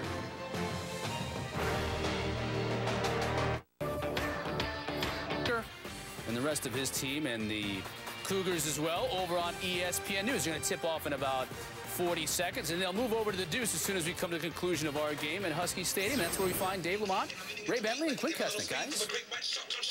All right, thank you. Looking forward to that matchup. That'll be a lot of fun. We speculated that Jordan Lynch wasn't going to play anymore, but I almost wonder if he just went to the coach and said, look, I'm not playing in the stadium again. Let me finish. Yeah, that would be the only way. I just can't imagine why he's out there, quite honestly. Um, I, I certainly wouldn't let him run the football. That's incredible. Huskies ball first and 10. Jordan Lynch has 321 yards rushing and three touchdowns on the ground tonight. He'll hand it off. Cameron Stingley trying to get to that 42-yard mark to get over a 1,000. And Quint Kessenich is standing by with Jordan's parents, Jim and Sheila. Quint? Uh, first of all, I want to ask you, senior night, Jordan's last home game. What, what emotions are you dealing with tonight? Uh, you know what? Not until I stepped out onto the field, it, it kind of hit me a little bit. We had a fun five years here, and uh, watching them play in Northern play, it was overwhelming. They, they're fantastic. one thing that stands out watching Jordan, his competitive spirit. When did you first notice that he had this competitive nature? Probably when he was in kindergarten. Yeah, when he started playing football in about kindergarten, about five, six years old. Sheila, we asked him about his toughness. He, he says his toughness comes from you. Why, why is that the case? I have no idea. I mean, just try to be good parents, you know, discipline them the right way. What are you most proud of? He, has got all these great accomplishments. What are you most proud of? Uh, that he stayed as humble as he is. You know, he, he goes out there, he plays the game hard. Uh, it's a good football team, and just, he just stayed humble. Thank you. Congratulations. Uh, enjoy the rest of the season. Thank you. Thank you. Thank you, Quint. Thank you, Jim and Sheila. And Humble's a great word. We've talked to him a couple of times, and he is not a me, me, me guy. And he's also out of the game. Uh, while you heard the interview, you might have heard the crowd noise going on. Uh, that was a salute from the fans that are still here in the two-degree wind chill in DeKalb. And it's the redshirt sophomore Matt McIntosh. And now it looks like Cameron Stingley is over the 1,000-yard mark. So for the first time in Huskies history, they have two 1,000-yard rushers in the same season. Right, Stingley at 44. He needed 42 on the night to eclipse that 1,000-yard mark, and all he has to do is not lose any at this point. Well, and this brings up a discussion that Rod Carey is going to have to worry about in the offseason. Who's his next quarterback going to be? And one of the two candidates is Matt McIntosh, who's number nine. And the other is a redshirt freshman, Drew Hare. And we spoke to coach about it. And he said, you know, it's it's really a, a, close battle between those two guys. He said McIntosh is probably the, the better runner, Hare the better thrower at this point in their development, but it's close in both of those categories. So they're going to battle it out in the spring, and, and they, they have some big shoes to fill, that's for sure. Yeah, that's a wide open job in the spring. It's a Huskies first down. Under two minutes. Northern Illinois, 8-0 in conference play this year, counting tonight. 12-0. Be curious to see what happens to their BCS ranking. Fresno State playing San Jose State this weekend. 25 MAC wins in a row. They've won four straight MAC West championships. This will be their 26th straight at home and 20 MAC wins in a row at home for the Huskies. Of course, not only will they have a new quarterback next year, they'll have a new mascot starting. Mission taking over for the legendary Husky. And we, we spoke with Bob Cole, the offensive coordinator. He says, hey, we're, we're, losing only four seniors on offense. And so they expect to, to be able to reload and, and continue to play well next year. Well, their top two receivers coming back, Da'Ron Brown and Tommylee Lewis. Brown played a little bit tonight. Lewis did not play, but they expect he'll be ready for the game in Detroit against either Buffalo or Bowling Green. Well, Stingley is a redshirt junior. Spencer is a redshirt junior. They're losing a, the great left guard, Jared Volk. And Matt Krempel, the, the right tackle. I don't know if you've mentioned him, but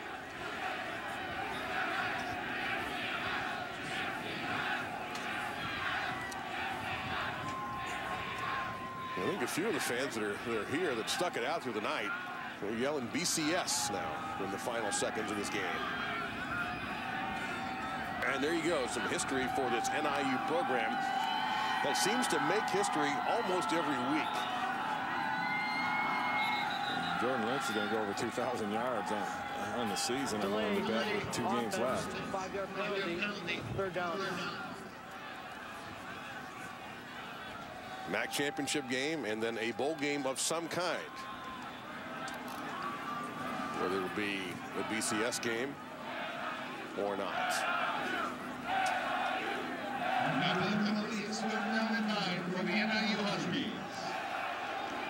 Certainly we want to thank the sports information staffs of both these schools for all of their help during the week. Our crew for hanging in tonight, especially those guys and women and outside. We've appreciated it, believe me. How about the people in that warm truck down there? They get a little love coming too. A little. little bit. 463 total yards for the still unbeaten. Oh, they gave Carey a cold Gatorade bath. Warm handshake with P.J. Fleck. 12 straight wins for NIU, 25 straight of the MAC, 26 consecutive at home. Now the MAC championship in either Buffalo or Bowling Green awaits. That's it from DeKalb, Illinois. Your final score, 33-14, Northern Illinois over Western Michigan. We thank you for watching Tuesday Night MACtion. Now let's take you, as promised, to Kansas City for the CBE Hall of Fame Classic.